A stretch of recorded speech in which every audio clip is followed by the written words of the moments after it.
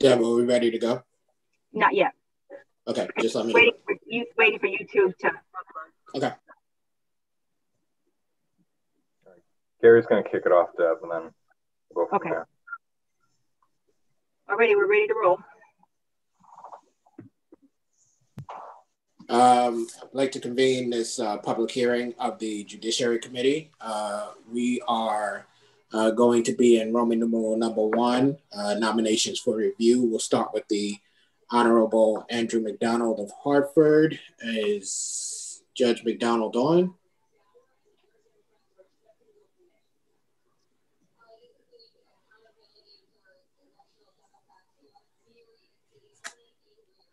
Deb, is he Yeah, I'm, I'm looking to see if present?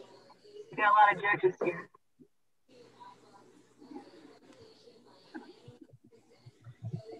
He is not Okay. Um, I have to switch. But who's next on the, the agenda? Um, next up the agenda. Um, uh, the Honorable Peter L. Brown, Next uh, on the agenda, we'll go back to Judge McDonald if he's not here still. Let me see. if- I was trying to stall for time for some time. Uh, we'll go to the Honorable Peter Brown. Uh, is Judge Brown on? Judge. Yes, Do you I have am. the- Have the oath, um, Gary? Yeah, I, ha- I have the oath. Okay. Judge Brown, you're on. Yes, sir. Okay, um, give me a second to pull up the oath. All right, so if you would please raise your right hand.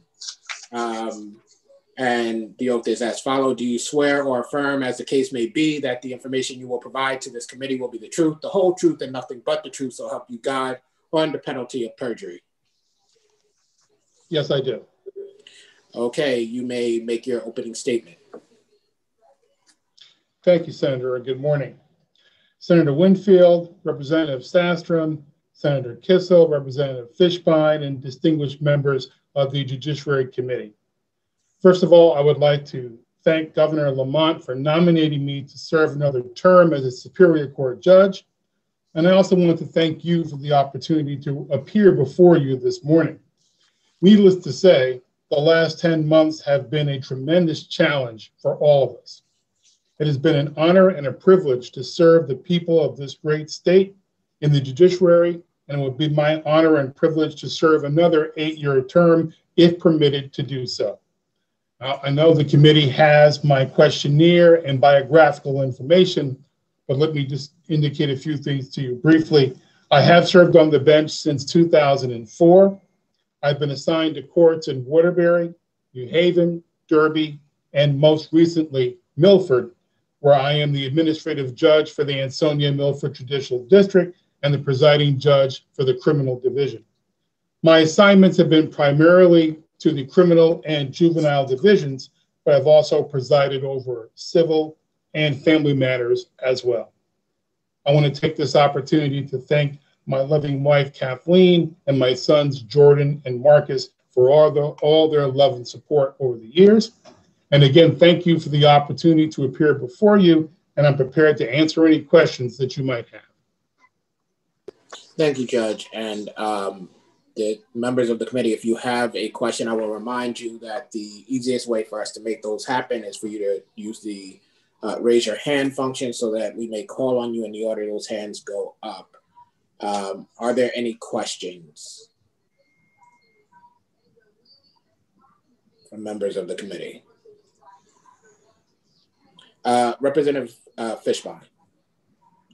Yes, thank you, uh, Mr. Chairman, and, and good morning, Judge Brown. Uh, Good morning. in reviewing your backup, I, I don't have really any questions with regard to your qualifications. I just want to, you know, in this this new world of the pandemic, and you having a vast uh, experience in our court process, what is the most challenging part that you found uh, being a judge in the pandemic? Thank you. That's an excellent question, Representative Fishbein. I appreciate it.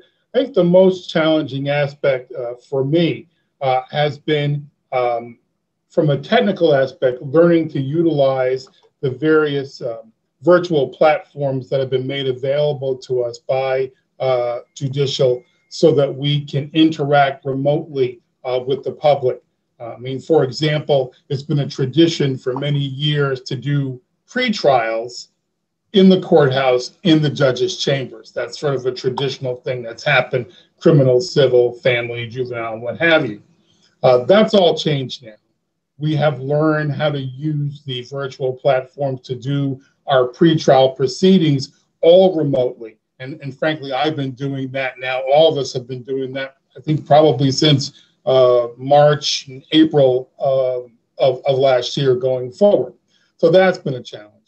Uh, it, it's, it's also uh, been a challenge watching the public, uh, for those that are still coming to court on some matters, uh, understanding their feeling and frustration with having to work through the protocols, to wear the mask. Know, I'm learning to wear the mask in the courtroom every day, obviously, uh, in the halls, doing the distancing. So it, it, it, has been a learning process for everyone. But I have to say, I'm immensely uh, proud of the uh, employees and staff here, of the public. Everyone has been willing to cooperate to try to get the job done um, and, trying to meet our number one goal, which is to keep everybody safe while at the same time doing the same level of work and moving the business. So I think those have been the dual challenges.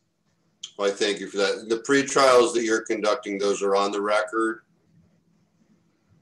No, these, these are pre-trials that we normally have, uh, you know, judicial pre-trials in chambers. So those uh, normally are not on the record uh, unless the individual is a pro se. But for the most part, those are not on the record. For those cases uh, that are going to be resolved, we are finding more and more that we are able to do those remotely as well. Uh, but there are times when counsel would request to, to have a sentencing uh, done in the courthouse, and we can find ways to get that done as well. And that's with regard to criminal matters, but um, civil matters, particularly in your courthouse. Um, you know, it's my, been my experience because I'm in some court just about every day um, that where in the past we could say to the clerk, we'd like to speak to the judge in chambers for a moment. You know, you can't do that anymore. And that proceedings um, are recorded in some way, shape, or form. Is that your experience as well?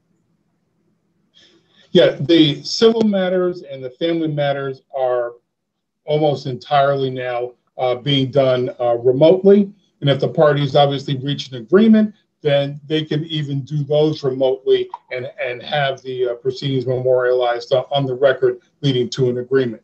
So for the vast majority of family and civil matters, those are all being done remotely.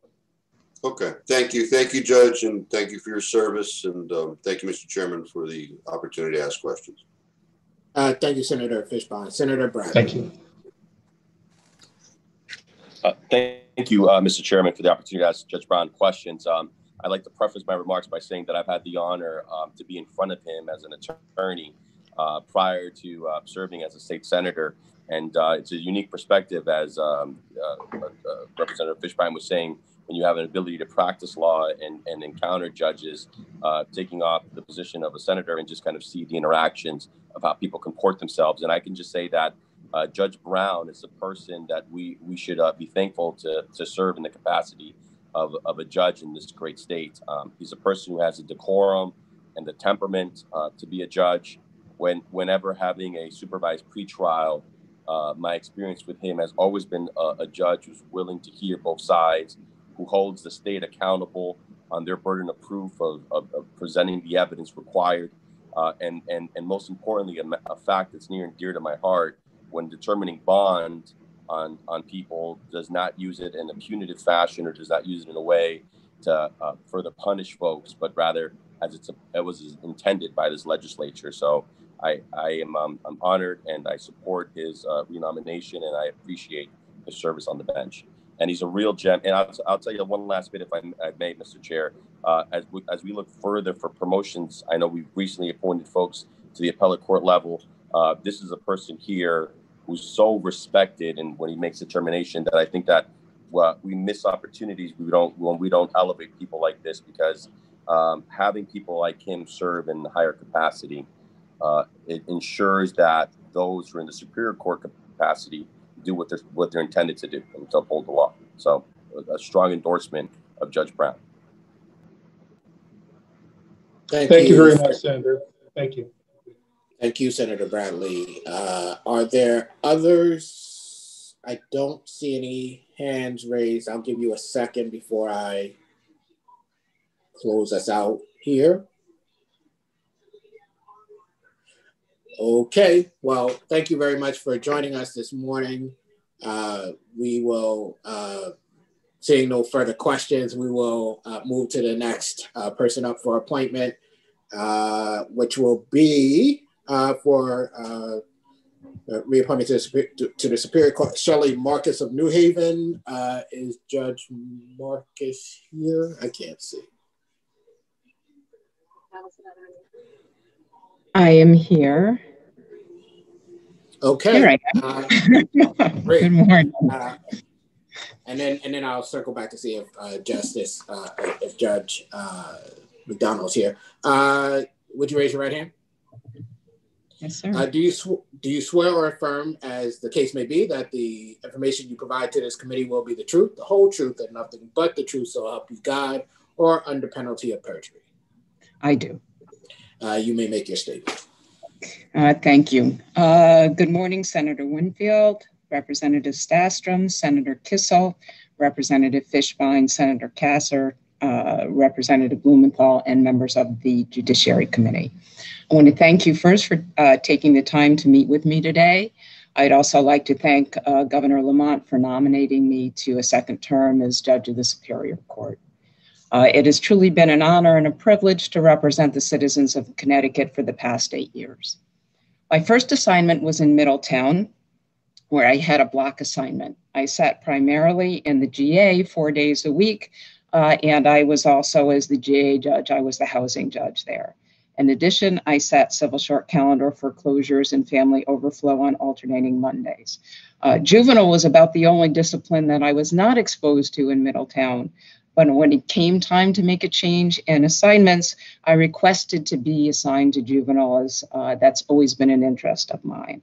I was assigned to New Haven Juvenile in May of 2014 and have remained here to the present time, becoming presiding judge in September of 2015.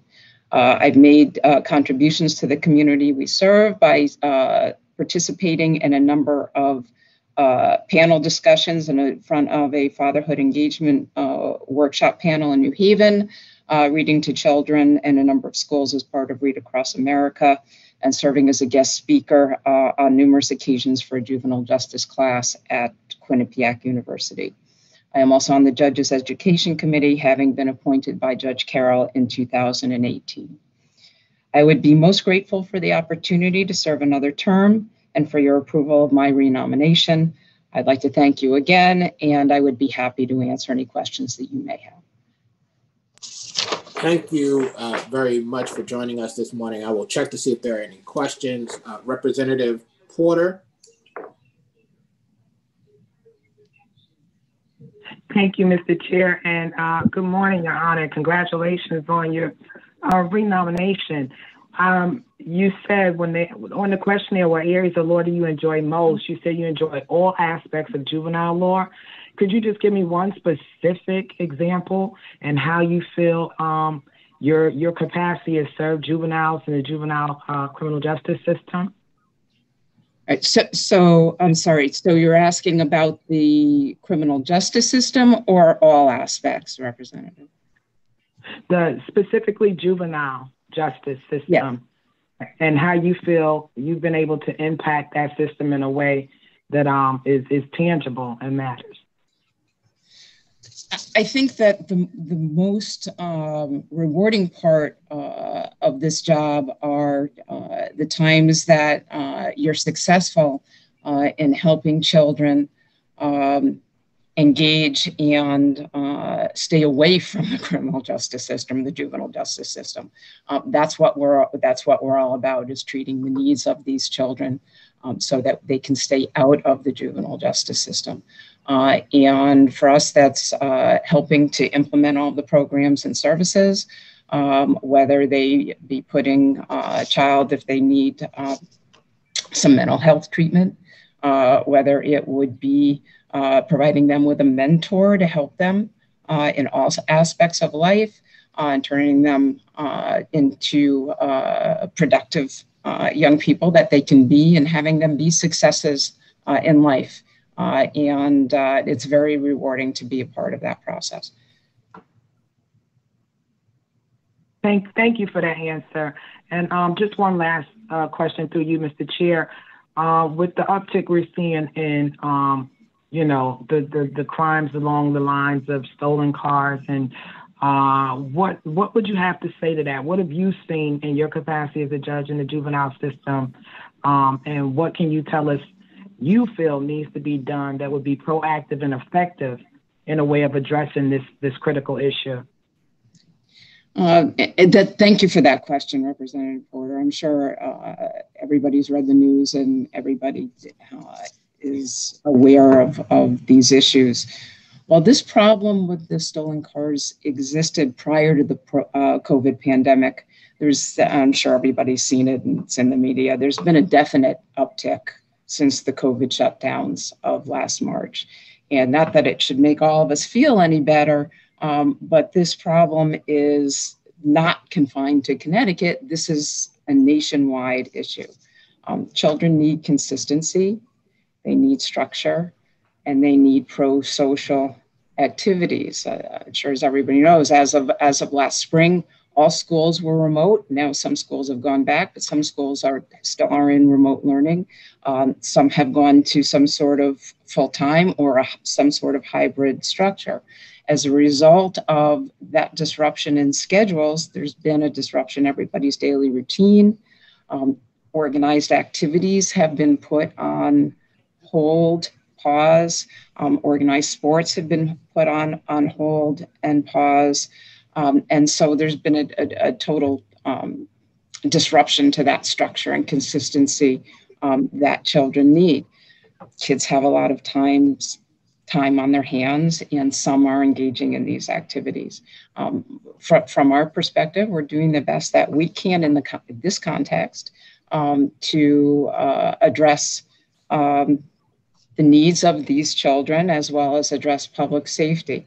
Um, in terms of, of what needs to be done, um, I'm going to leave that to uh, the legislature uh, for you to consider um, and debate. As I'm sure everybody knows, I don't know whether uh, Representative Walker uh, is with us, but she co-chairs the uh, JPOC, Juvenile Justice uh, Policy and Oversight Committee, and I'm sure they'll be talking about these issues and, and making some suggestions uh, thank you for that response. And I do serve as a member on JPOC as well, and we certainly will.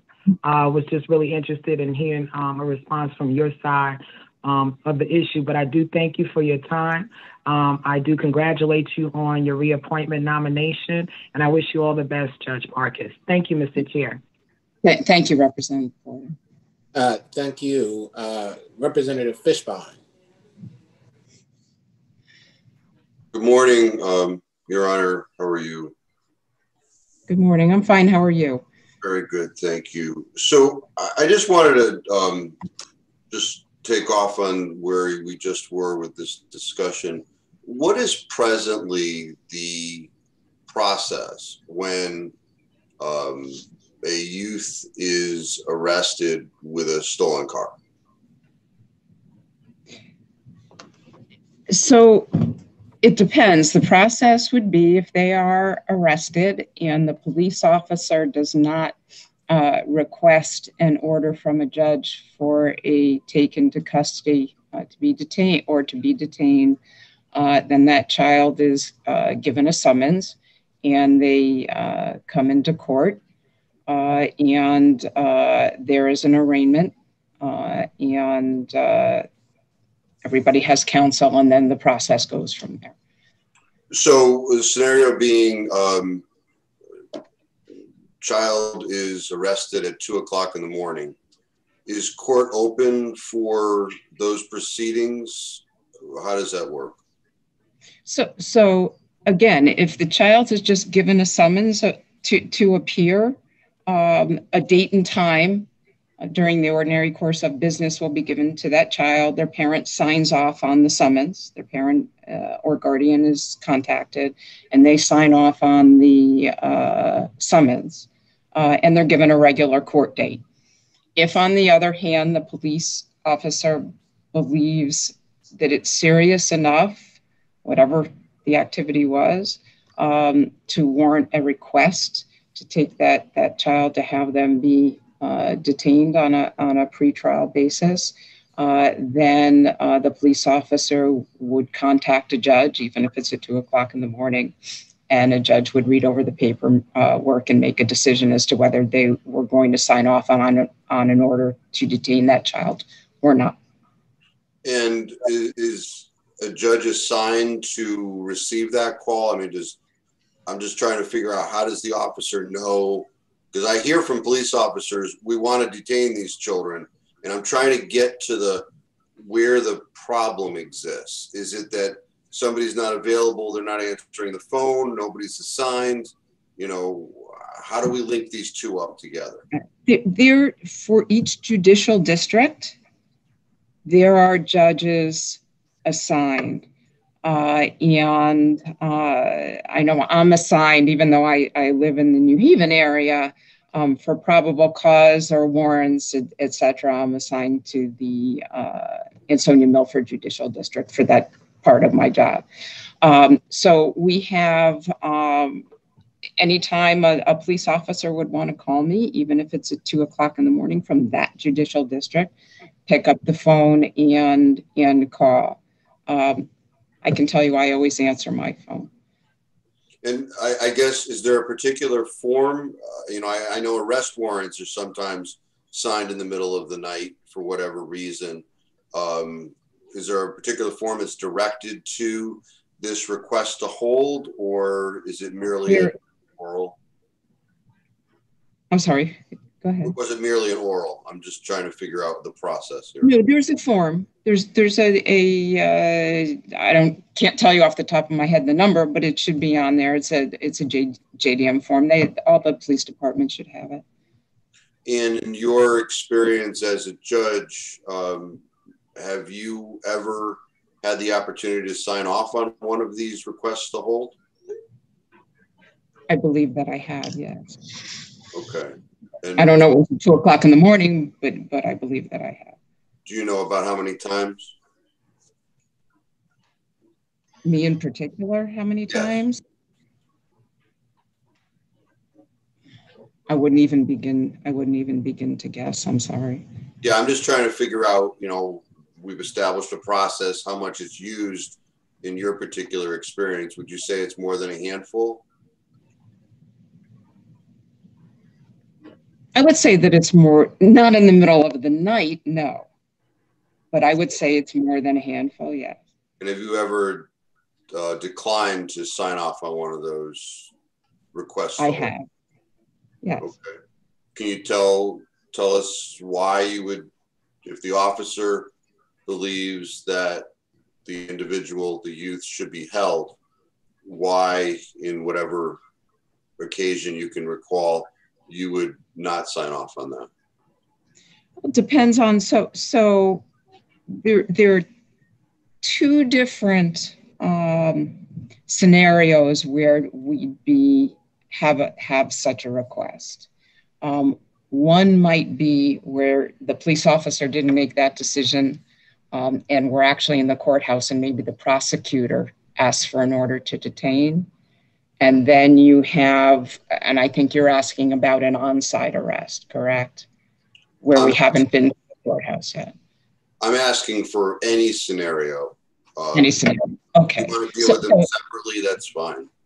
Okay. So let's deal. So so I'll go back to the police officer in the middle of the night scenario. Let's deal with the police officer didn't make that decision, right? And the the the child and counsel were all in in uh, the courthouse, and it's the first day that the child's in on on that particular charge, um, and the prosecutor makes a request. Um, statutes um, have us consider um, only three grounds to detain a child. One is holding them for another jurisdiction, which can put to one side because that's not part of this scenario. Another is if we have uh, a previous failure to appear, the child's not cooperating with, with court process, which generally doesn't pertain to this particular scenario. So then you have the third ground, which is a probable cause to believe that the child will pose a risk to public safety um, if released to the community prior, I'm sorry, and I'm, and I'm reading from the statute, prior to the court hearing or disposition, um, and that uh, child cannot be managed in a less restrictive setting. And so the court has to consider those factors, and the court hears information. Um, perhaps the child, perhaps this is a first offense. Perhaps the child um, was very, um, there were no issues in terms of the arrest of that child. They didn't try to run from the police officer. Um, there are already programs and services in place for that particular child. And so a judge makes a decision as to whether um, child can be a whether under whatever the scenario the judge is presented with there is a risk to public safety and whether that risk can be managed if there is such a risk that can be managed in a less restrictive setting uh, and there are certain circumstances where a judge um, is given the discretion uh, all we're always given the discretion to do that and sometimes the judge says the child can't be managed in a less restrictive setting and sometimes the judge does not um, order a detention. It totally depends on the circumstances. Um, same thing with a police officer coming to you in the middle of the night. Um, you don't have as much information under that scenario, obviously, because you're not in court, you don't have the lawyers, and and um, you have the the uh, police report uh, and the affidavit. But again, uh, given the the uh, allegations, um, you consider that and you weigh it um, according to the statutes, and uh, a judge will make a decision as to uh, whether uh, there's an order to detain or not. If a, if a judge decides in the middle of the night to detain, um, child gets presented in court uh, on the next day. Okay, and then you had said that you had recalled a particular incident when, or incident when you had um, not signed off on that, and if you could just briefly explain what happened in that case. I do not believe. I do not believe that I've ever been in, interrupted uh, in the middle of the night on an order to detain. Um, I have uh, in the courthouse uh, on a number of occasions, um, not detained, decided not to detain a child when there's been a request made by the prosecutor. Okay, and is there a overriding reason for um, your denial of those requests? You know, in all of these cases, this was the situation, or was it various things? it's it again i think as i said before it, there are various things um, we have our our statutes um, and uh, we need to decide whether um, a there is a risk to public safety and whether that risk cannot be managed in a less restrictive uh, setting. Um, these laws were passed based uh, on um, expert uh, information and data um, showing um, that it is uh, often not productive uh, and can be uh, harmful to lock up children, uh, which I think was the basis for uh, some of these laws being passed. With the uptick in stolen cars, however, um, legislature did add um, in 2019 um, a uh, an addition to those statutes um, that gives us a little bit um, more of a definition of, of public safety, uh, and that was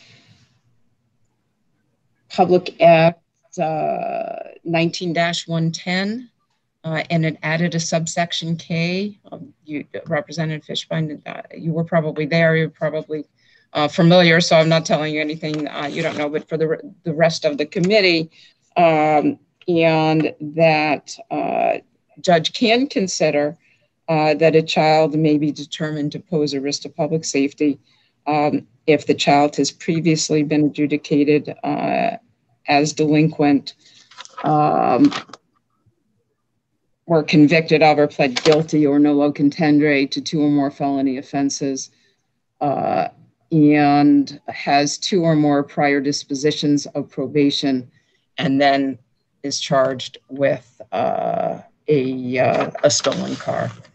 Yes, understood. All right, thank you. That's all I had. I'll open it up to my other uh, colleagues. So thank you, Mr. Chairman. Thank you. Uh, so, sorry, go ahead. Thank you, Representative Fishbein. Uh, Representative Dubitsky. Thank you. Um, and thank you, Judge, for coming in today. Very much appreciate it. Um, quick question. Now, you you have uh, you were first appointed to the bench in 2013. Is that correct? Correct. Okay, and and almost immediately went over to juvenile. About a year and some months later, correct. Okay. Um, over the the last number of years, we have had. Uh, I can't even tell you how many juvenile judges come through here and virtually every one of them has had uh, in their tenure as a judge a list of complaints against them um, because I, I, I, guess because juvenile just juvenile court just and family um, kind of engenders that kind of thing. Now I know that you have no complaints in the time that you uh, have uh, been a judge. And I just to ask you, what do you attribute that to that um, so many of the other judges that have come through here have had a, quite a number of complaints, and um, I see that, that you don't have any. Uh, thank you. Thank you for that question. Um, I just think it's really uh, important uh, not only to be uh, respectful to everyone. Um, but I think the key word is is at least for me is is empathy, um, and you have um, empathy for uh, the litigants uh, that appear before you, uh, the children, uh, the parents on the child protection side, um, you understand um, how hard uh, the, the lawyers work as well to present their, their cases. Um, and uh, I don't, you know, I, that that's all I can say. But you know, my my my keyword is is or keywords are are respect and and empathy and uh, considering the positions of, of all and um, and the hard work that everybody puts into their cases and and that's all I can attribute it to. Okay, well, thank thank you for that, and I, am I'm, I'm sure the uh, the the litigants and and the children before you are appreciative of that. Um, but I I'd like to push you just a little bit more on that. What, why do you think that so many people um, believe there's a problem with the court system, um, especially in the family and juvenile courts, that we get so many complaints against judges um, for uh, issue for issues that for for cases that come before them. Um, you know what? There's from my experience, a lot of you know being on the judiciary committee, a lot of these complaints are from pro se litigants.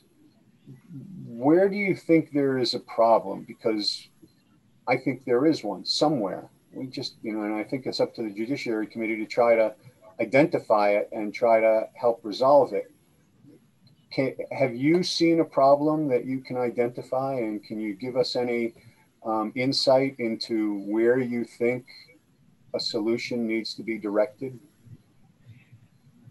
I wish I could be more helpful to you, but as as a, a juvenile judge, I have not seen it really in the juvenile courts. Our uh, litigants and parents uh, are appointed attorneys uh, if they financially qualify. So all virtually uh, all everyone on the child protection side as well as the delinquency side uh, have counsel so they're they're not pro se litigants here i've had really no experience limited experience um, on the family side which i think um, is where most of this is is coming from um, and so i wish i could be more helpful but i I don't haven't really seen that um, in in my experience. Okay, that, fair enough. Well, I, I appreciate your time and uh, uh, good luck on your renomination. Thank you so much. Thank you, uh, Senator Lesser. Uh, yes, thank you, Mr. Chairman, and, and congratulations, Judge Martin, on your uh, on your renomination. Uh, it's good to see you here uh, answers this morning. Um, I just wanted to follow up a little bit on uh, some questions asked earlier by my colleague, Representative Porter. Uh, she had uh, been asking about the recent uptick in, uh, uh, or the perceived uptick in juvenile justice cases. and I know that in your response to her, you mentioned some of the issues regarding closure of schools and other things that may um, have contributed on, on that end uh, to um, you know, providing less structure for uh, for juveniles. I was just wondering if you could point to any specific issues um, on the judicial side, if there are any barriers or, or issues that you've run into during the pandemic uh, in terms of the you know smooth and orderly functioning of the uh, of the of the juvenile side of the uh, judicial branch. Um, well, from post pandemic, um, it was a, initially a little bit of a challenge because at least the, the chair that I'm sitting in was not available because this courthouse was closed. Um, so we uh, went to uh, Bridgeport, New Haven. There were basically initially there were only two courthouses open. You had Hartford and you had Bridgeport, and our uh, cases from New Haven were being heard there. Although I do have to say that that um, for all of the most important uh, cases, priority one cases, including the, the uh, juvenile justice, including delinquency cases. Um, we were able to uh, operate there in uh, Bridgeport, um, get uh, the most important cases heard, uh, and um, what what they did was pretty rapidly before they created this remote platform that we're now all using on Microsoft Teams. Um, for uh, the delinquency cases, we um, had the children, if there were children that were detained, were video cameras, so we were able to get them into court um, that way, socially distanced. Um, and then there was a, computer uh, stationed, it was in the courthouse but not in the courtroom. So we were able to conduct business and, and stay distanced in, in that way. And then there was a there's a big screen uh, that is in the courtroom um, where uh, that computer would be broadcast from in the, the courthouse um, into into the courtroom. Uh, and then, of course, uh, over the summer, um, our uh, IT people did an amazing job of uh, building up our, our technology and our remote platforms. And uh, once everything started reopening, um, I, I, can tell you here in New Haven, uh, we're up running and, and uh, I think whatever um, backlog there was, we've, we've addressed it and, uh, and we're moving forward. Thank you for that answer. And, and through you, Mr. Chairman, just to be clear, so at this point, you wouldn't identify any you know, specific resource constraints or other uh, constraints placed on the judicial branch by, by the pandemic uh, that would limit the, the, ability to provide services to juveniles? Um, I don't I do not believe so. I think the the the some of the challenges, however, and some of the programs and services, I would believe so instead of being actually present in the home, they're probably telehealth or uh, some remote services. So I think that might continue to be somewhat of a challenge. But in terms of, so that would be on the program and services side. But in terms of judicial operations, I think uh, for the moment we're we're uh, we're making do. Great, thank you for that answer. Good to hear, and uh, congratulations again on your re-nomination. Thank you very much. Thank you, Senator. Thank you, uh, Representative Howard. Thank you, Mr. Chairman, and uh, thank you, Your Honor, for being here today. If I could just uh, use a few minutes of your time to help clarify some things for myself and my colleagues. In Connecticut today, if a juvenile is arrested, stopped by a police officer in a stolen car and arrested, there's a limit to how long that police officer can hold that juvenile in custody without an order from you or one of your colleagues. Is that right? Correct. And is, that's limit six hours. Is that correct? That may be correct. And so, in order to hold that um, juvenile for excess of that time, if we say it's six hours, and they would need an order from you or one of your colleagues that that juvenile presents a danger to public safety, correct? That's one of the aspects for us to consider. There, there are three grounds for an order to detain. That's one of them.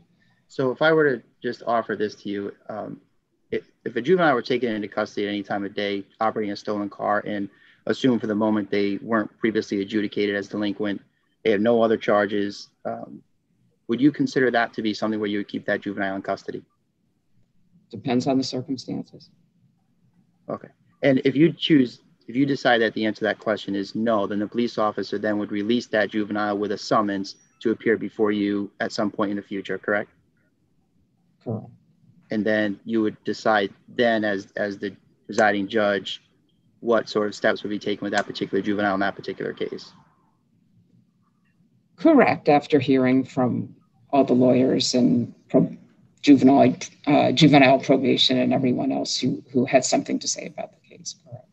It, so thank you and for your answer. And what I'm essentially trying to do, Your Honor, is is clarify for some of my colleagues exactly how the juvenile process works now, because clearly this issue of the stolen cars with juveniles is going to become before this committee in a variety of ways um, in the coming months. So I just wanted to, to clarify for them.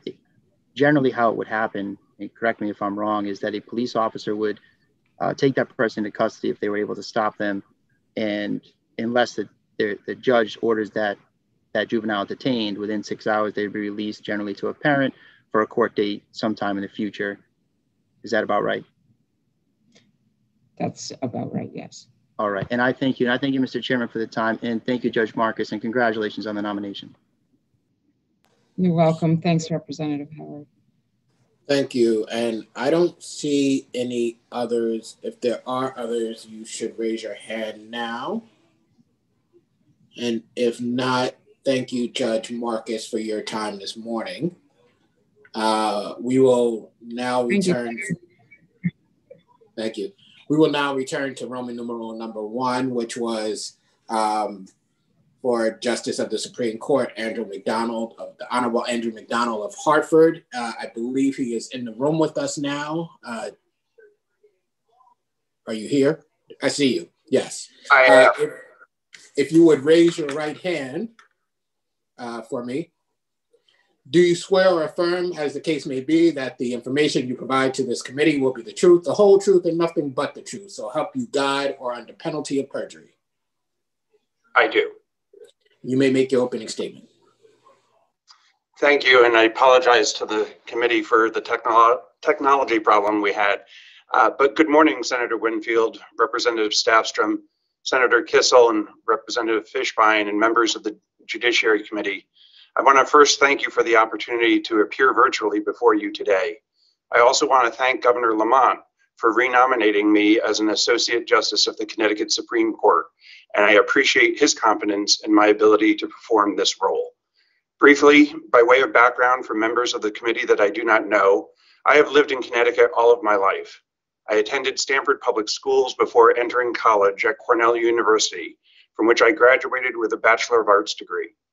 I then earned my Juris Doctor degree with honors from UConn Law School, where I also served as the managing editor of the Connecticut Journal of International Law.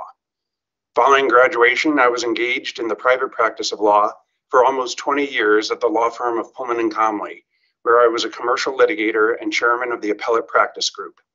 While I was in private practice, I also served for more than three years as the director of legal affairs and corporation counsel for the city of Stamford, where I managed the law department, the human resources department, and the benefits department of the city.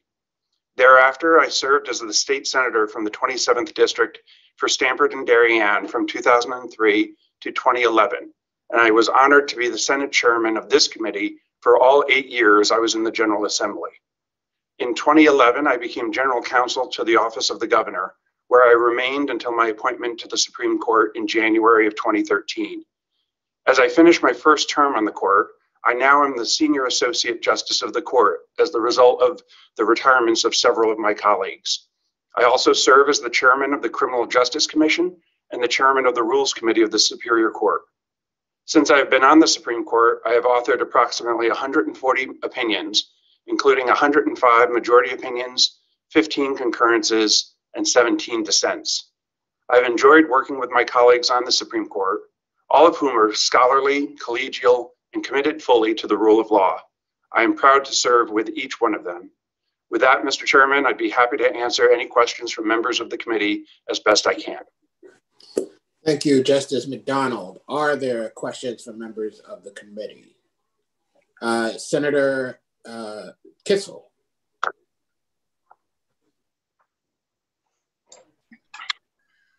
Uh, thank you, Mr. Chair.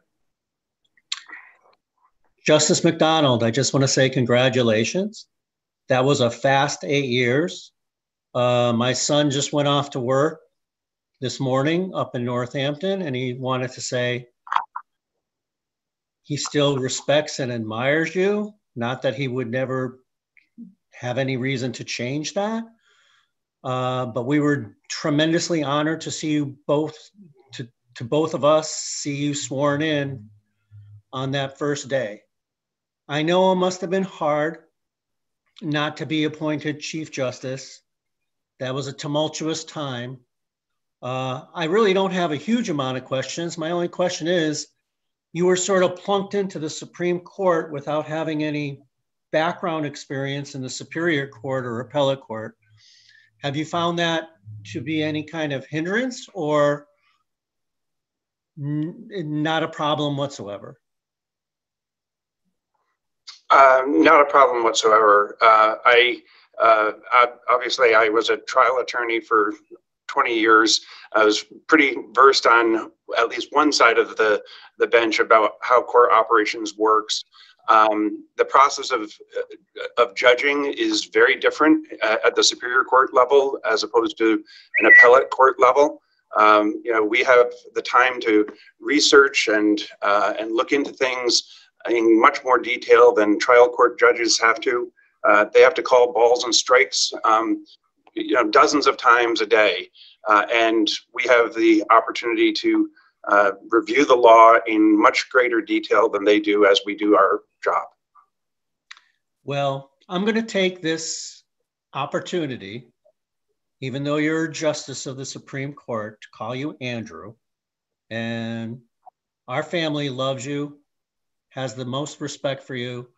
And I just can't be happier that you're getting nominated for another term. That's all I have to say. Thank you, Senator. Thank you, uh, Representative Fishbein. Thank you. Good morning, Justice McDonald. Um, it's nice to see you here today. Congratulations, congratulations on your um, reappointment. The um, there's a few things I wanted to ask you about in reviewing your backup, and you know, recognizing as you just spoke about that you didn't serve in the Superior Court. You know, your role on the Supreme Court is more constitutional um, many times, and in your backup, you recognize the federal constitution guarantees minimum standards and, and protections. And I just wanted, what's your perspective on the supremacy clause? Um, you know, article um, Article Six of the federal constitution in conjunction with your role on the Supreme Court. If I understand the question correctly, obviously the supremacy clause um, controls uh, what we do at a state level when whenever we are uh, adjudicating a federal uh, question. Um, we have a state constitution, obviously, uh, and the Connecticut Supreme Court is supreme in terms of interpreting and applying our own constitution. But when federal constitutional principles are uh, are involved, uh, the U.S. Supreme Court um, rulings are controlling on our court. And what is your position with regard to federal statute? Um, also supreme under the Constitution? If it if it has been inter to for members of the committee who don't uh, know, we are authorized to interpret and apply uh, federal statutes if it's within the jurisdiction of a case before our courts. Um, but in interpreting and in applying it, uh, we are guided by uh, the federal interpretations typically of circuit courts of appeal, though they are not controlling on us. Uh, but if the Supreme Court has interpreted a federal statute in a particular way, that is controlling on our court. And certainly, how would that relate to the debate across the country and soon to Connecticut about the legalization of recreational marijuana? considering that it's illegal under federal law? I haven't given that. I mean, that's a very complicated area of the law. Um, and I would imagine uh, that that is being litigated around the country um, as we speak, but I have not studied it in any detail. Well, I'm just trying to test your your belief, your understanding of the supremacy clause in conjunction with federal law, you know, can a state invalidate a federal law at its whim when the supremacy clause still exists? No, a, a, a state can't invalidate a federal statute. So if marijuana is illegal, essentially, for recreational use federally, how can a state such as Connecticut even contemplate recreational marijuana legalization? Uh, Representative, that's a uh, that's a um, subject that obviously is going to likely be debated um, in the legislature this year. That's a policy decision uh, for the legislature whether they uh, want to uh, entertain that question, and if so, whether to pass legislation related to that? Well, certainly the legislature has contemplated, this committee contemplated it a couple of years ago. And I took the position that under the supremacy clause, it would be a violation of our oath of office to uphold the federal and the state constitution. So I'm just trying to, you know, based upon your backup, my takeaway would be that your understanding of the supremacy clause would be that the state can't legalize recreational marijuana. And I'm just trying to figure out where you are on this issue legally.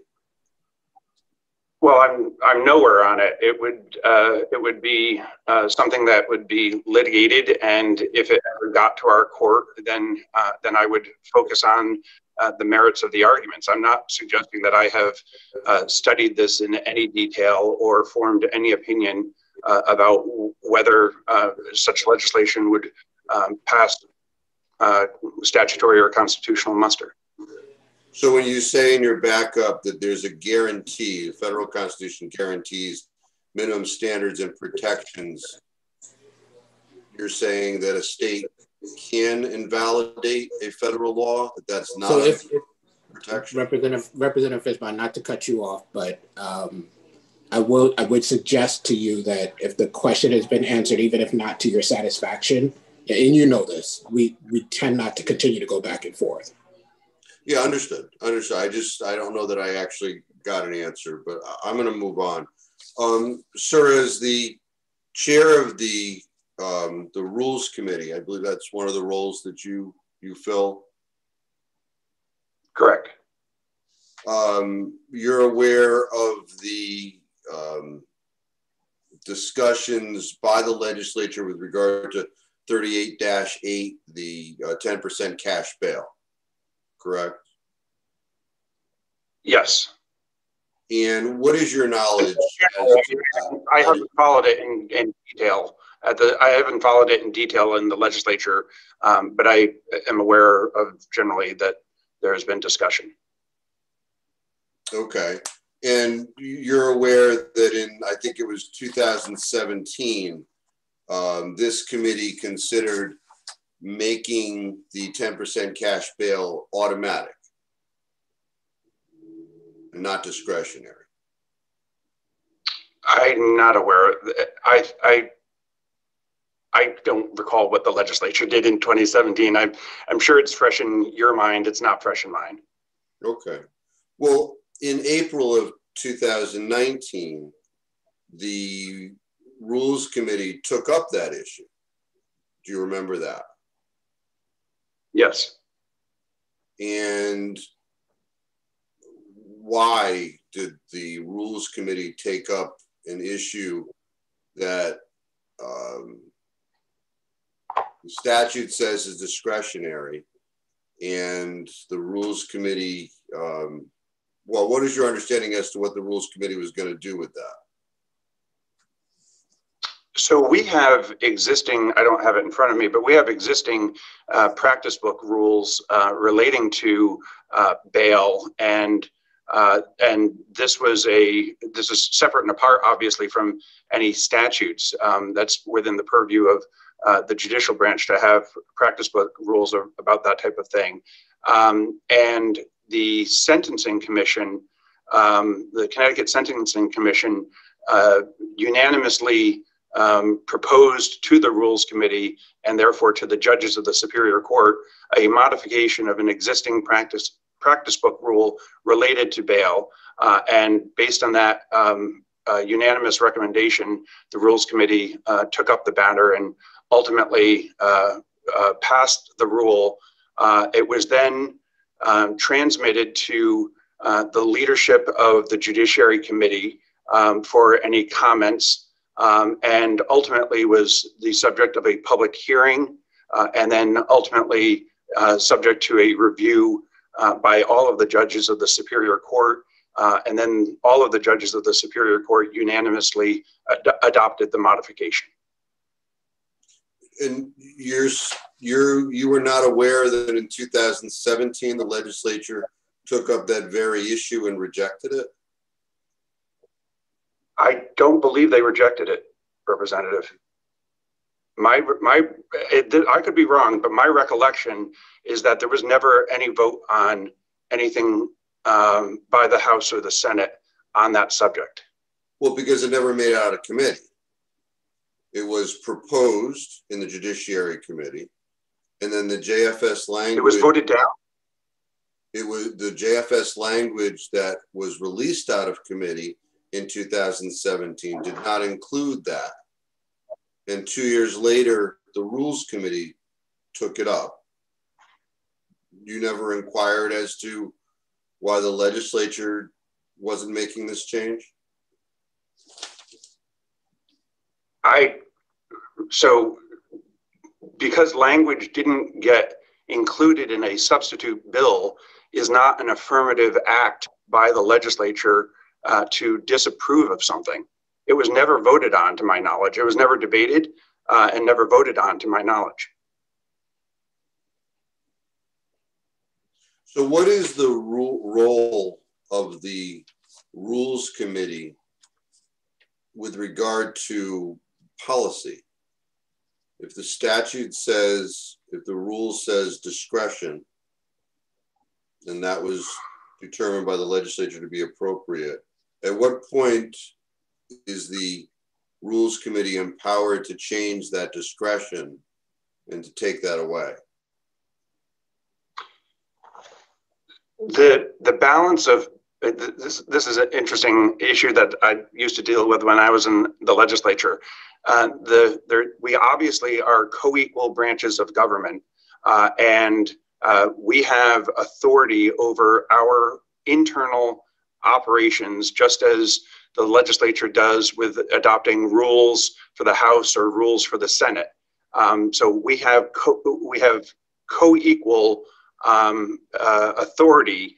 Uh, we have tried, as far as I can remember in history, and probably for a hundred years beyond that, to respect each branch's independent authority to operate within its purview.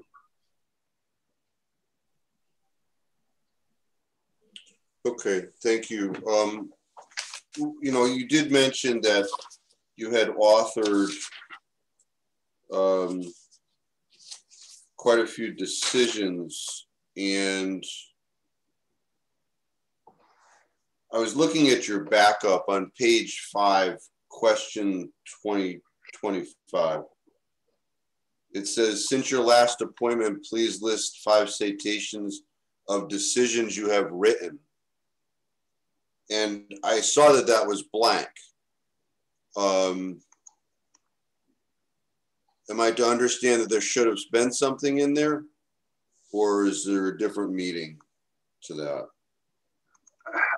Um, I'm sorry, Representative. I'm trying to pull it up. I don't have it in front of me.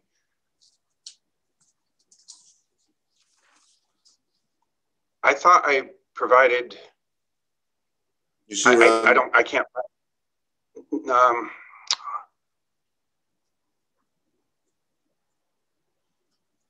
it's on the page with your signature, sir. No, I don't. I don't have the problem. If you if you would pause one second, let me get my file. Sure, absolutely.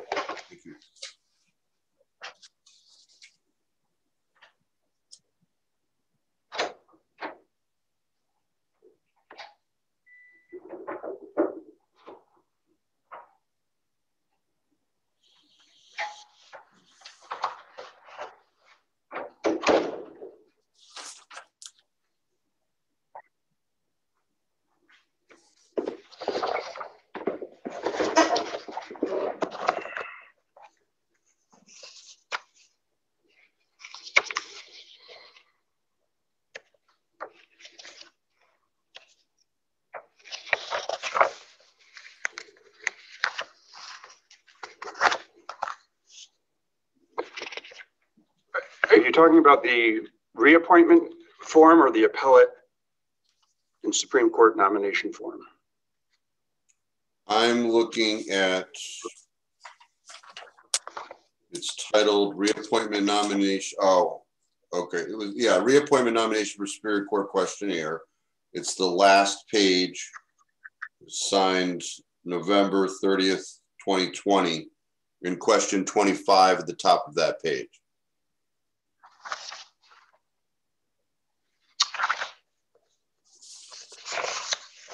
I did not fill that out, and I apologize for that. Okay. Um, I, I thank you, and um, I, I don't know how we handle that. Whether you sorry, know, I'm sorry. I, I will be happy to get uh, five citations to the committee um, later today. I apologize for that, Representative. That'd be, that'd be great. Thank you, and thank you, Mr. Chairman. Thank you, Representative Fishbein. I see uh, Senator Bradley. Uh, yeah, thank you, uh, Mr. Chairman. Uh, just quickly, I, have never had the, the, pleasure of meeting you, Justice, but uh, your reputation precedes you, and, um, and, and, it's one of excellence, as other members have already made comments of. Uh, I wanted to commend you on the rule change that you've made, dealing specifically with the issue that Representative Fishbein was discussing on, on bail it's something which I hope as as we take up this legislative cycle to make uh, amendments on our end as a practicing attorney who does a lot in criminal um, criminal courts. Uh, I see that there's a lot of abuses when it comes to that, and I think that those those rule modification to uh, I won't say limit someone's a judge's discretion, but I say to kind of focus it and, and make it a little bit more equitable uh, were appropriate from what I've seen uh, with uh, the system here in in Connecticut. Um, so I commend you for um, leading the charge, and that what I understand was your your lead and and, and having those rules uh, be changed and modified. So I commend you for that, and and I think that you you uh, in that discussion with Representative Fishbein, illuminating at least myself in terms of how to shepherdize something like that, and and shows the, the pedigree that you have and and the and the great uh, job we did in selecting you up to the Supreme Court. Kudos. Thank you, Senator. Thank you. Sorry. You can respond if you want. No, I'm, I'm done. No, yeah, thank, you. Thank you. Uh, thank you, Senator. Uh, I see Representative Blumenthal.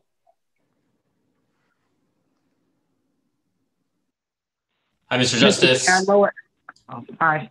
Oh. Hi, Mr. Justice. Nice to see you. Um, thanks for being with us today. And uh, I just want to say uh, we're very proud to have you here as a son of Stamford, and sorry to have lost you as a Stamford resident and constituent recently. But um, and I won't say where you've gone for your privacy, but uh, thank you for all your service at various levels to our legal profession and in uh, the judiciary. I just had one question. Uh, I'd love your perspective on. Connecticut has kind of a middle road approach when it comes to uh, insulating judges from the political process uh, compared to the federal process, which guarantees life tenure during good behavior. It's a little less insulated to the, to the political process compared to other states where many of judges are directly elected. It's more insulated. Um, I was wondering, based on your experience uh, as justice so far, if you could uh, give us a bit of perspective on what you think of Connecticut system uh, with its eight-year term subject to reappointment. You know, thank you for the question. Um, it's one of those issues that uh, maybe I think it's the best because it's ours. Um, but I, I, do think Connecticut has a very, uh, very um, positive um, framework for trying to keep judges um, accountable to the elected branches of government without directly uh, having them elected uh, by the people of the state. Uh, in, in fact, um, my court is one of uh, 12 uh, courts in the country that have some version of appointed um, appointments to the bench by uh, a governor and the legislature. Um, 38 states elect their court of last resort. Uh, and uh, for the life of me, uh, I don't see how that is a good uh, a good idea um, because it, it whether you can you can try as best you might, but uh, you invariably create a political environment in which um, uh, judges have to operate, and and I don't think they should operate in that sphere at all. Thank you, Justice McDonald. Uh, appreciate your perspective on that and all the answers you've given to the committee. Uh, thank you, Mr. Chair. Thank you, Representative Blumenthal. And I saw when you began that Rep Porter was trying to say something, although I don't see a hand. I just want to make sure she doesn't have a comment or question. I'm all set, Mr. Chair. Thank you. Okay. okay. Are there, I don't see anyone else. Are there any others? Um, if not, let me ask you just briefly, and I don't want to get too far outside of your role as a justice, but you, you have a maybe unique experience having been a trial attorney and legislator who chaired this committee, justice and the chair of the, the Criminal Justice Commission. And I think you know that um, there are plenty of proposals coming to us, and we were just talking about um, some accountability. So I, I, wonder if, in your role as a justice, given that all of these things are going to mesh together, um, do do you think uh, there are things that we should be thinking about? And this relates to your role as chair of the CJ uh, CJC uh, in terms of accountability of, of prosecutors. And I don't want you to go too far out on a limb because we're trying to stick to what you do. But if you had a comment or two that might be useful to this committee as we consider that in the session. I would like to hear it. Uh, well, thank you, Senator. Um, I, I would, I don't have a comment in the sense that uh, I would never advance uh, a policy uh, proposal um, for you to consider. Um, having said that, uh, it, it would be within my uh, role as chairman of the Criminal Justice Commission uh, to testify before your committee if the legislature has proposed something and has, and seeks my my comments um, uh, uh, on that legislation. I, I, think that would be an, an appropriate place for me to offer a view on something that you folks are proposing. Thank you, and that and that's useful. And just so I'm clear, so if something is before us, you would be willing to testify to the, the policy proposal, and with your expertise. It, it, yeah, we we, we are uh, judges are limited. We we can't volunteer to do it, but if we are uh, if we are asked to testify uh, by the committee, we can. Thank you, and I think given that you have a the role that you have, uh, you may be asked. Uh, thank you very much. Are there comments or questions from others? If not, thank you very much for joining us this morning, uh, Justice McDonald. Uh, thank you. Thank you. Next, we will hear from uh, candidates to be uh, up for nomination for senior judge, uh, beginning with the Honorable Frank uh, D'Addabbo of Cromwell. Um, are you? I think I saw. I'm here. Oh, great. Would you raise your right hand? Okay. Do you swear or affirm, as the case may be, that the information you provide to this committee will be the truth, the whole truth, and nothing but the truth, so help you God, or under penalty of perjury? I do. Okay, great. Thank you. You may make your first statement, your opening statement. Thank you. Good morning, Senator Winfield and Representative Stafstrom, Vice Chair Senator Kasser, Representative Blumenthal, Senator Kissel, and Representative Fishbein. First, I would like to thank you and the members of the Judiciary Committee for giving me the opportunity to appear before you today and have the consider committee consider my nomination. I would also like to thank Governor Ned Lamont for having the confidence in my judicial abilities to nominate me for my fourth eight-year term as a judge, now senior judge of the Superior Court. Uh, it has been an honor and a privilege to serve the citizens of Connecticut in my capacity as a judge for these years. I remember this honor and privilege every time I enter the courtroom. I was originally appointed to the bench in 1996 and have had the good fortune of being assigned to judicial districts staffed with dedicated people and serving with talented and dedicated colleagues. During my most recent judicial term, I have been assigned to the New Britain Judicial District the Criminal Division of the Hartford Judicial District, and I am presently assigned to the New Britain Judicial District. My primary responsibilities in these judicial districts has been as a criminal trial judge for both Part A and Part B cases. During this past term outside the courtroom, I have continued to be a member of the Criminal Jury Instruction Committee. I have sat by designation on the appellate court I have been a mentor for newly appointed judges, and I also teach a class with Justice Maria Kahn at UConn School of Law. I can honestly state that there has been not been a day that I have not looked forward to the challenges and responsibilities taking the bench. I would be most grateful for this committee and to the General Assembly for approving my nomination, and I will be happy to answer any questions that you may have. Thank you. Uh, are there questions, comments from members of the committee? I don't. Up, oh, Representative Fishbein. Good morning, sir. Good morning, sir. Thank you. Thank you for coming before the committee today. Um, you know, criminal law being a very interesting constitutional area of law, I just wanted to ask um, what you found to be the most difficult aspect of establishing fairness during the COVID in the criminal law or, or criminal courts? Uh, that's a question that I'll have to answer in two ways, um, sir. First is that uh, I am aware of uh, the steps that have been taken by the judicial branch to do their best to ensuring the safety as well as the processing of, uh, stakeholders through the courts.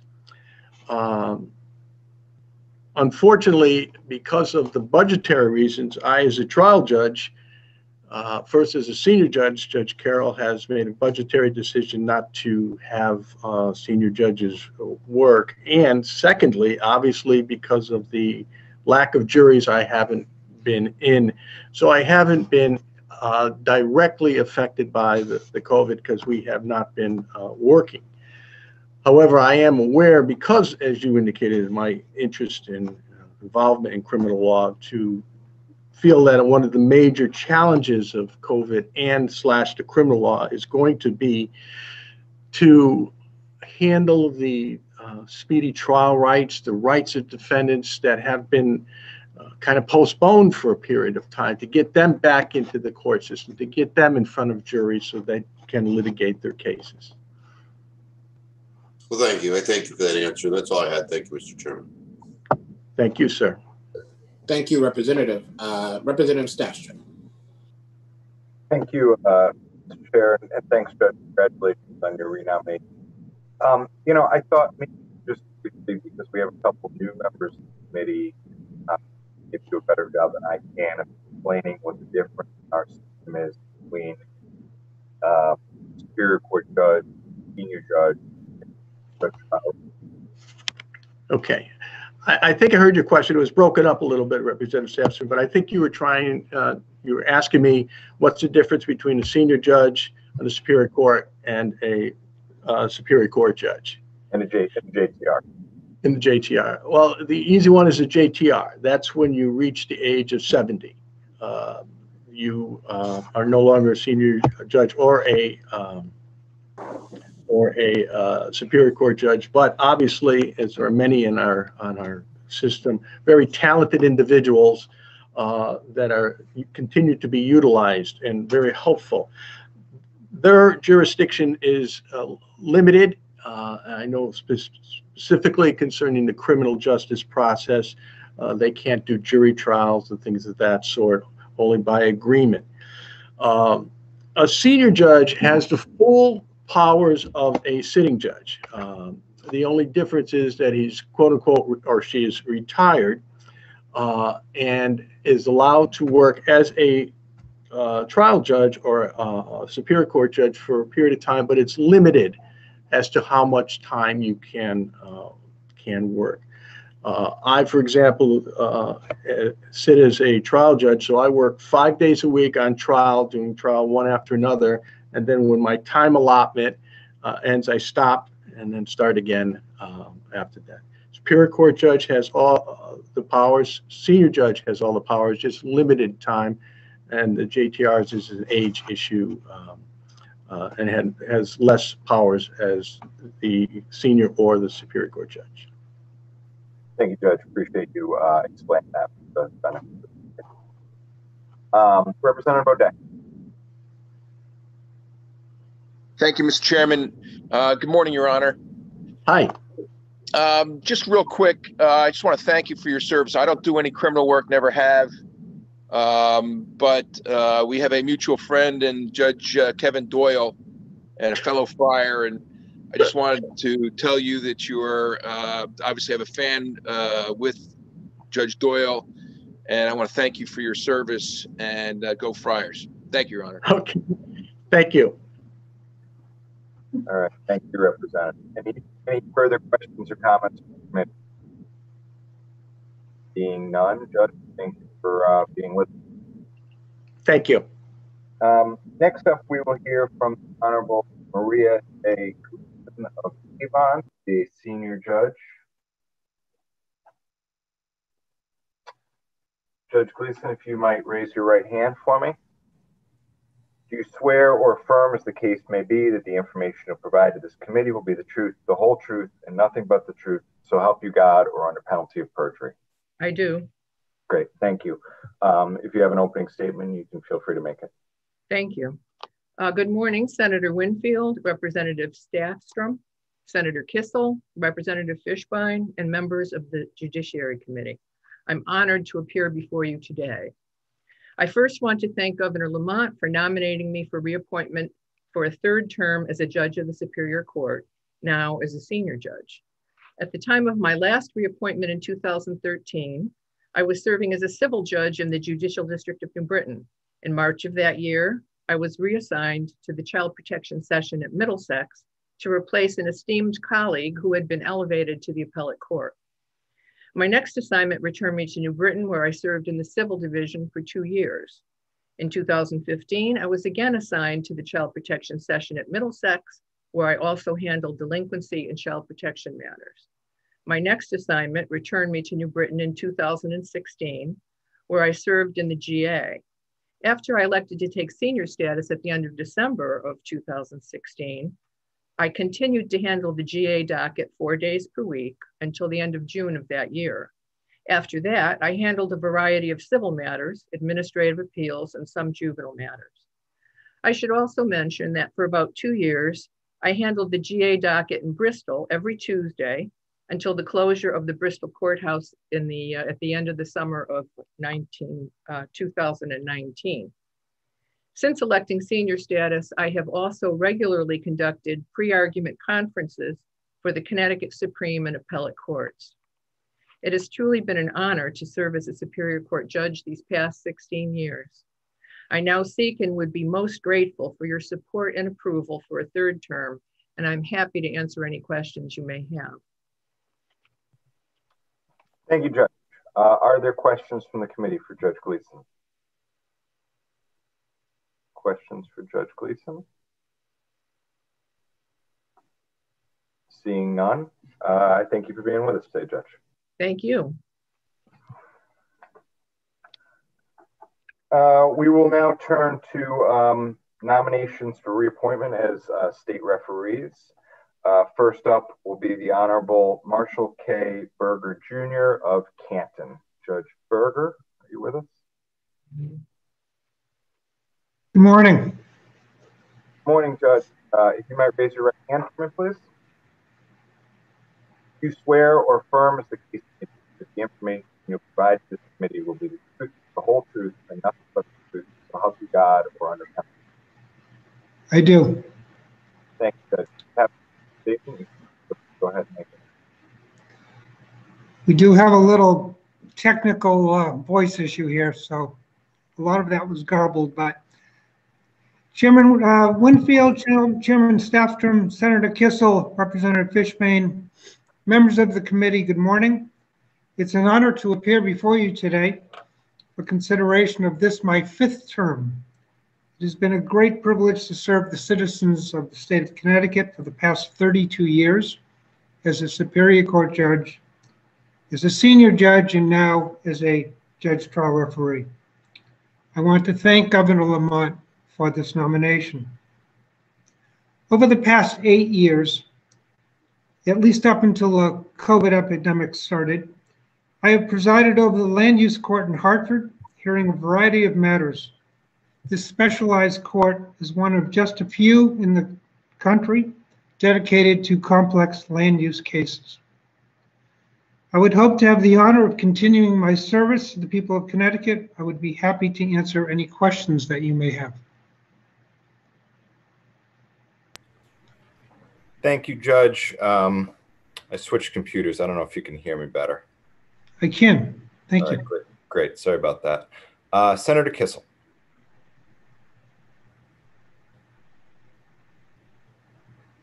There we go. Uh, Judge Berger, you were like one of my first judges when I started practice. I just want everyone on this committee to know how wonderful you were, how understanding you were, how empathetic you were, and how dedicated you are. Uh, you were asked to attend certain events and you said you had to go do things with your children. That was the right decision.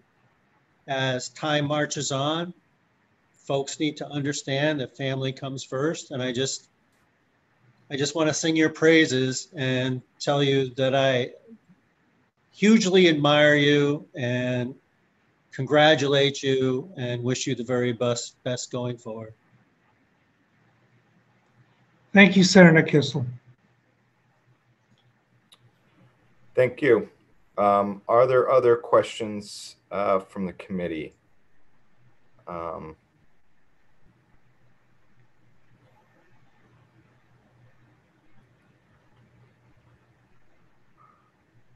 I see Representative Fishbein. There we go. Uh, good morning, Judge Berger. How are you? Good morning. Um, I would be remiss if I didn't uh, send condolence, uh, well, good wishes from Representative Carpino, who represents that she at one point um, clerked for you, I believe. Um, she wanted to say hi. The um, Yes, she did. Please say hello to her. I shall. And I don't know if you remember, but back in uh, 97 through 99, when you were at uh, the New Britain Superior Court, I was a clerk there and from time to time would, would clerk for you uh, every once in a while. Um, I, I noticed- remember that. since that time, I've been before you a few times, and in fact, you even uh, were very gracious to take a case for mediation, a very complex case that I had with uh, one plaintiff and about 20 defendants involving a land use dispute. And I really appreciate all the work that you did on that case.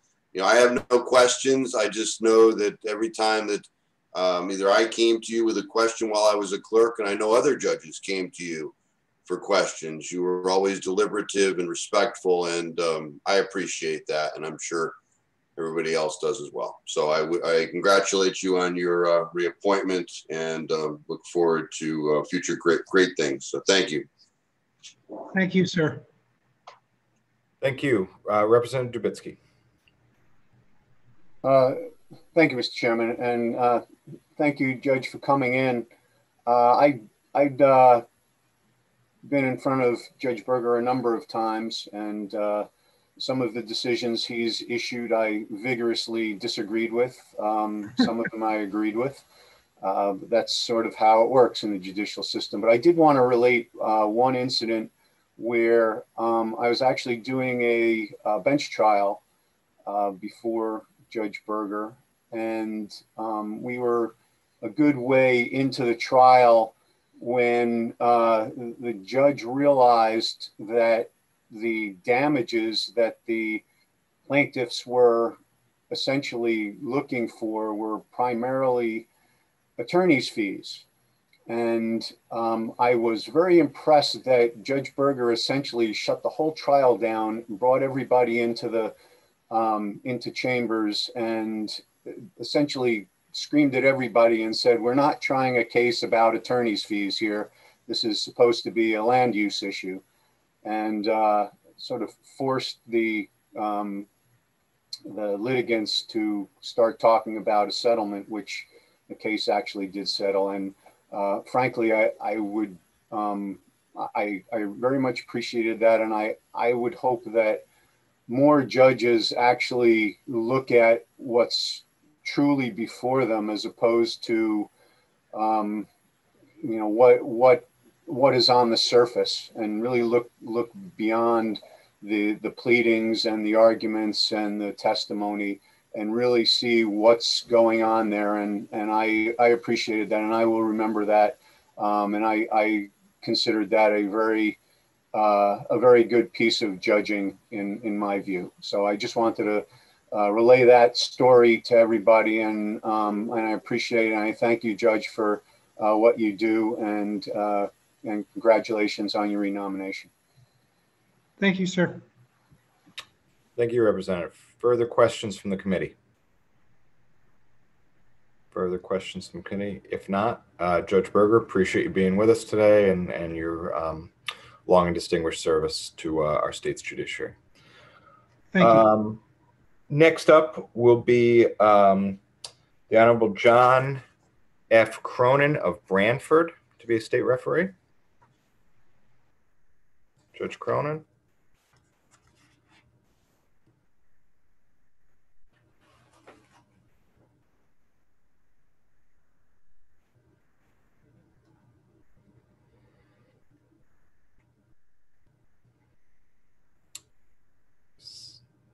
Judge Cronin. Good morning. Good morning, Judge. Can you turn your camera on?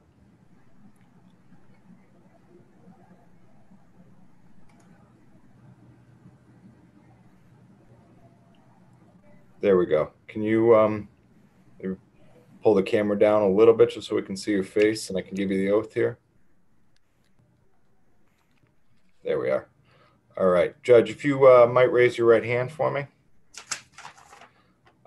Do you swear or affirm, as the case may be, that the information you provide to this committee will be the truth, the whole truth, and nothing but the truth, so help you God, or under penalty of perjury?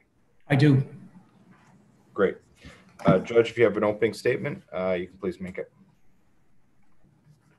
Senator Winfield, Representative Stafstrom, Senator Kissel, Representative Fishbein, members of the committee, I thank you for having me here today. I'd first like to thank Governor Lamont for the recommendation for a new term. Since my last appointment, I have been assigned as the presiding judge in the New Haven Judicial Court. I have sat for civil matters in the Meriden Court. I've been the presiding judge in GA 17 in Bristol. And until Friday, the 13th of March, 2020, I was working four days a week in the arraignment court at GA 23 in New Haven. Since that time, I have made myself available to review warrants for various New Haven area police departments, uh, particularly Branford and North Branford has taken me up on this. And I am a member of what is called the taxi squad in the New Haven Judges uh, Circle, which is made up of uh, trial referees who are available to fill in when coverage is needed on a volunteer basis. I consider the last 16 years to have been a very, very rewarding experience in my legal career. I would welcome the opportunity to continue my service during when things return to normal, as I hope they will very soon. And I'd be willing to answer any questions of the committee. Thank you. Thank you, Judge.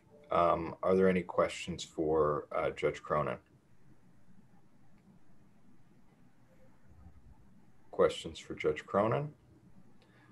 Uh, seeing none, Judge, I uh, appreciate you being with us and appreciate your uh, your long service to the judicial branch in the state of Connecticut. Thank you. Thank you very much. Next up will be um, the Honorable um, Constance L. Epstein of Glastonbury. Judge Epstein, are you with us? I, I hope I am. Okay. You know, Judge, we've got a little bit of feedback um, when you're on mute. Do you have another, do you have one device on or two? Um, is it better if I sit back like this? Oh, let, let's give it a shot. Go ahead and make your opening statement. Oh, actually, I got to administer Do you the need me- oath. Could you could you raise your right hand? Do you swear or affirm, as the case may be, that the information you provide to this committee will be the truth, the whole truth, and nothing but the truth, so help you God, or under penalty of perjury? I do. Great. Uh, now you can make your opening statement, please. Thank you. Good morning to the chairpersons, the ranking members, and indeed all of the members of this committee. I thank the governor for his confidence in nominating me to serve another term as a judge trial referee. And I thank this committee for the opportunity to be, appear before it. I started practicing law in 1979. At first, work, working for the Office of Legislative Research assigned to this very Judiciary Committee. In 1981, I went into private practice with a law firm in Hartford, eventually becoming, I might say proudly, the first woman partner in that year's more than 200 year history. After I was appointed to the bench in 2004, with the exception of Part A criminal and habeas corpus dockets, I have been assigned to almost every other discipline and have considered matters in the GA court, family, juvenile, child protection, and housing. And I have served in Rockville, Hartford, Waterbury, and Middletown. In 2013, as a JTR, I was assigned to the civil docket, returning there from my practice, and I have served there since. I cannot think of a more rewarding occupation than in one, the one in which I have been privileged to work. I considered it a privilege to continue, and I hope to continue to have the opportunity to do that. I would be more than happy to answer any questions that anyone might have. Thank you. Questions from the committee?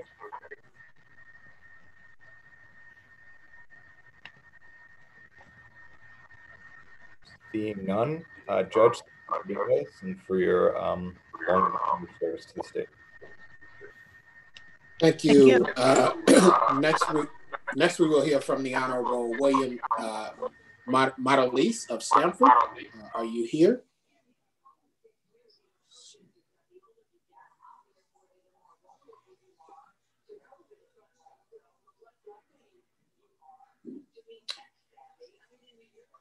See you in the list of people. Are you?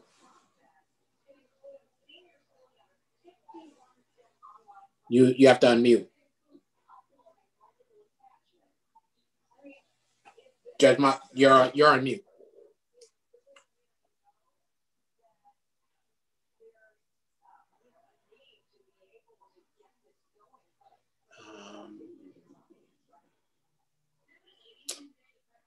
Um, um Oh, there you are. Can, can you hear me? I, I don't have any sound. All right, we are going to uh, move on and allow you to work on your technical difficulties. Uh, next, we'll hear from the Honorable Barbara M. Quinn of Chester. Good morning. Good morning. Would you um, raise your right hand? Okay. Uh, do you swear or affirm, as the case may be, that the information you uh, provide to this committee will be the truth, the whole truth, and nothing but the truth?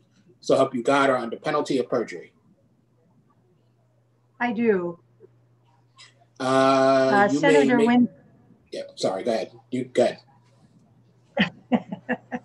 Jump the gun. At any rate, Senator Winfield, Representative Stafstrom, Senator Kissel, and Representative Fishbein, and members of the committee, thank you for the opportunity to appear before you today. I would also like to thank Governor Lamont for nominating me for an additional term as a state referee. I was first appointed in 1996 and uh, have had the honor and privilege to serve uh, it, as a judge since that time. I much like that picture of your children, I must say. um, at any rate, the, the last time I appeared, there you are. How are you today?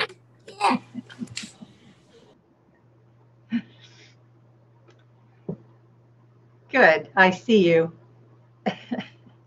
the last time I appeared before you, I was the chief court administrator and in my last year in that position, and I stepped down at the end of that year when I became a judge trial referee.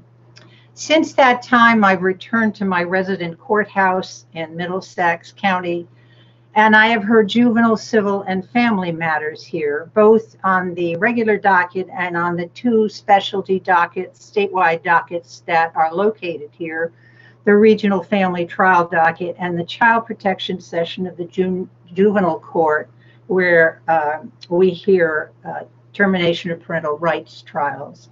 I also handle civil matters and um, was reminded, as we heard from Judge Berger, that I also receive referrals from his land use docket and also affordable housing appeals from time to time.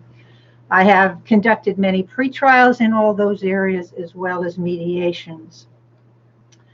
And uh, during this pandemic, I have learned the new procedures for remote hearings, conducted a few, and pretrials and mediations continue. Um, I also was able to participate in the pre argument appellate conferences for the appellate court until those were suspended at the onset of the pandemic. And I'd be happy to answer any questions that you might have of me. Thank you, Judge. Are there questions for uh, for Judge Quinn? Uh, Senator Kissel. Yeah, hi. Uh, I just want to say great to see you, Judge Quinn. You were a great Chief Court Administrator. And uh, I'm really happy that you're renominated and you're still active. Well, thank you for your comments. I'm grateful I'm not the Chief Court Administrator now. you would still love it. Thank you, Senator Kissel. Are there other comments? Uh, Representative Palm. Thank you, Mr. Chair. Uh, good morning, Judge. It's great to see a fellow Chesterian um, before us today.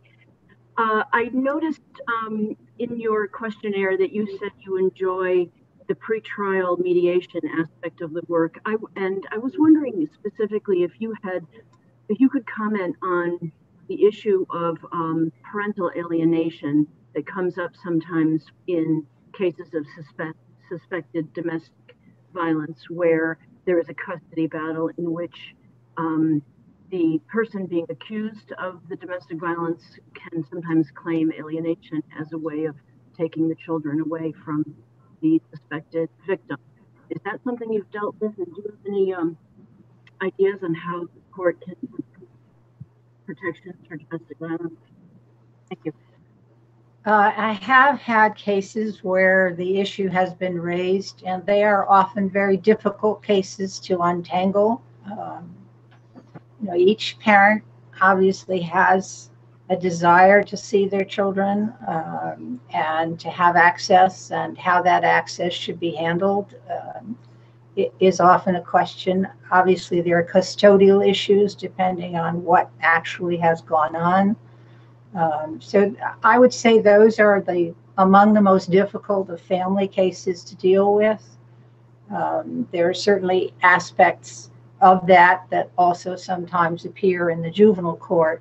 And in the last um, eight years, much of my work has been on the termination of parental rights cases. But the cases in particular from the regional family trial docket here in Middletown often raise the problems that you mentioned. Uh, what what are some of the factors that you take into consideration when you're trying to decide um, the authenticity of a, of a claim of parental alienation on the part of the suspected? Uh, they're all the factors that are uh, listed in our statute uh, concerning uh, custodial determinations. Uh, we don't really recognize that syndrome in the label that's been placed on it, although people come and testify um, about it. So we think about what what has been the connection of the children to the parent in question, what has been the conduct of the parent, um, what do individuals who appear before us, perhaps a guardian ad litem or an attorney for the minor child, have to say um, in closing arguments or perhaps in testimony, depending on who they call to testify. So it's really a very multifactorial determination and how strong each of those pieces of evidence might be. It's hard to say generally. I think particularly in the family arena, the specific facts um, weigh a great deal. Thank you, Judge Quinn. Thank you, Mr. Chair. That's it for me. Thank you. Thank you, Rep Thank you, Representative Palm. Are there questions from other members of the committee? I do not do not see any. Um, thank you very much for joining us, Judge. Uh, thank you. Thank you let's try to see if we can get Judge uh, back in. Judge, can you unmute yourself now? Um, that is looking like it may be a no. Yes. Yep. Oh, wait. Okay, nope. unmuted. Yep, I can hear you now. Hey, there we go. Are you there?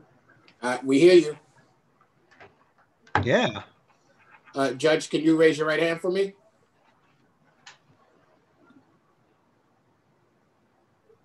All right, I'll, I'll give you a second to get your earpiece in. Can you can you raise your right hand for me, Judge? Judge Mottolese, can you raise your right hand for me? Can you hear me? Judge Mottolese, yes.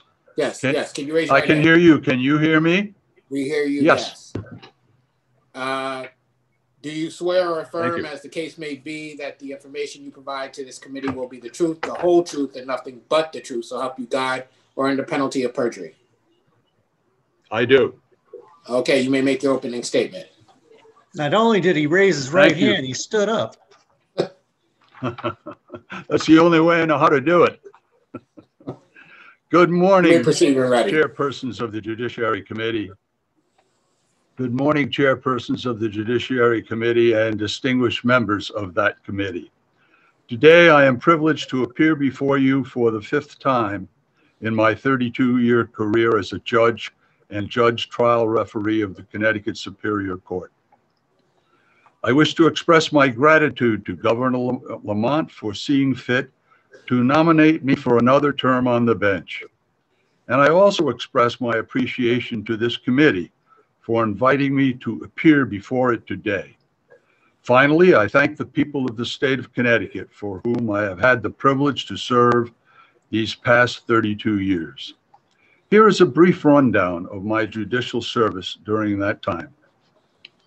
My judicial career has been as varied as it has been fulfilling. It began in September of 1988 with an interim appointment with an assignment to GA2, where I broke in as an arraignment and criminal court judge.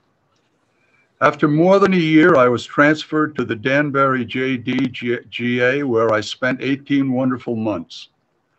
In the latter part of 1991, I was sent to my home district of Stamford, Norwalk, where I served as a trial judge and later as the presiding judge for civil matters.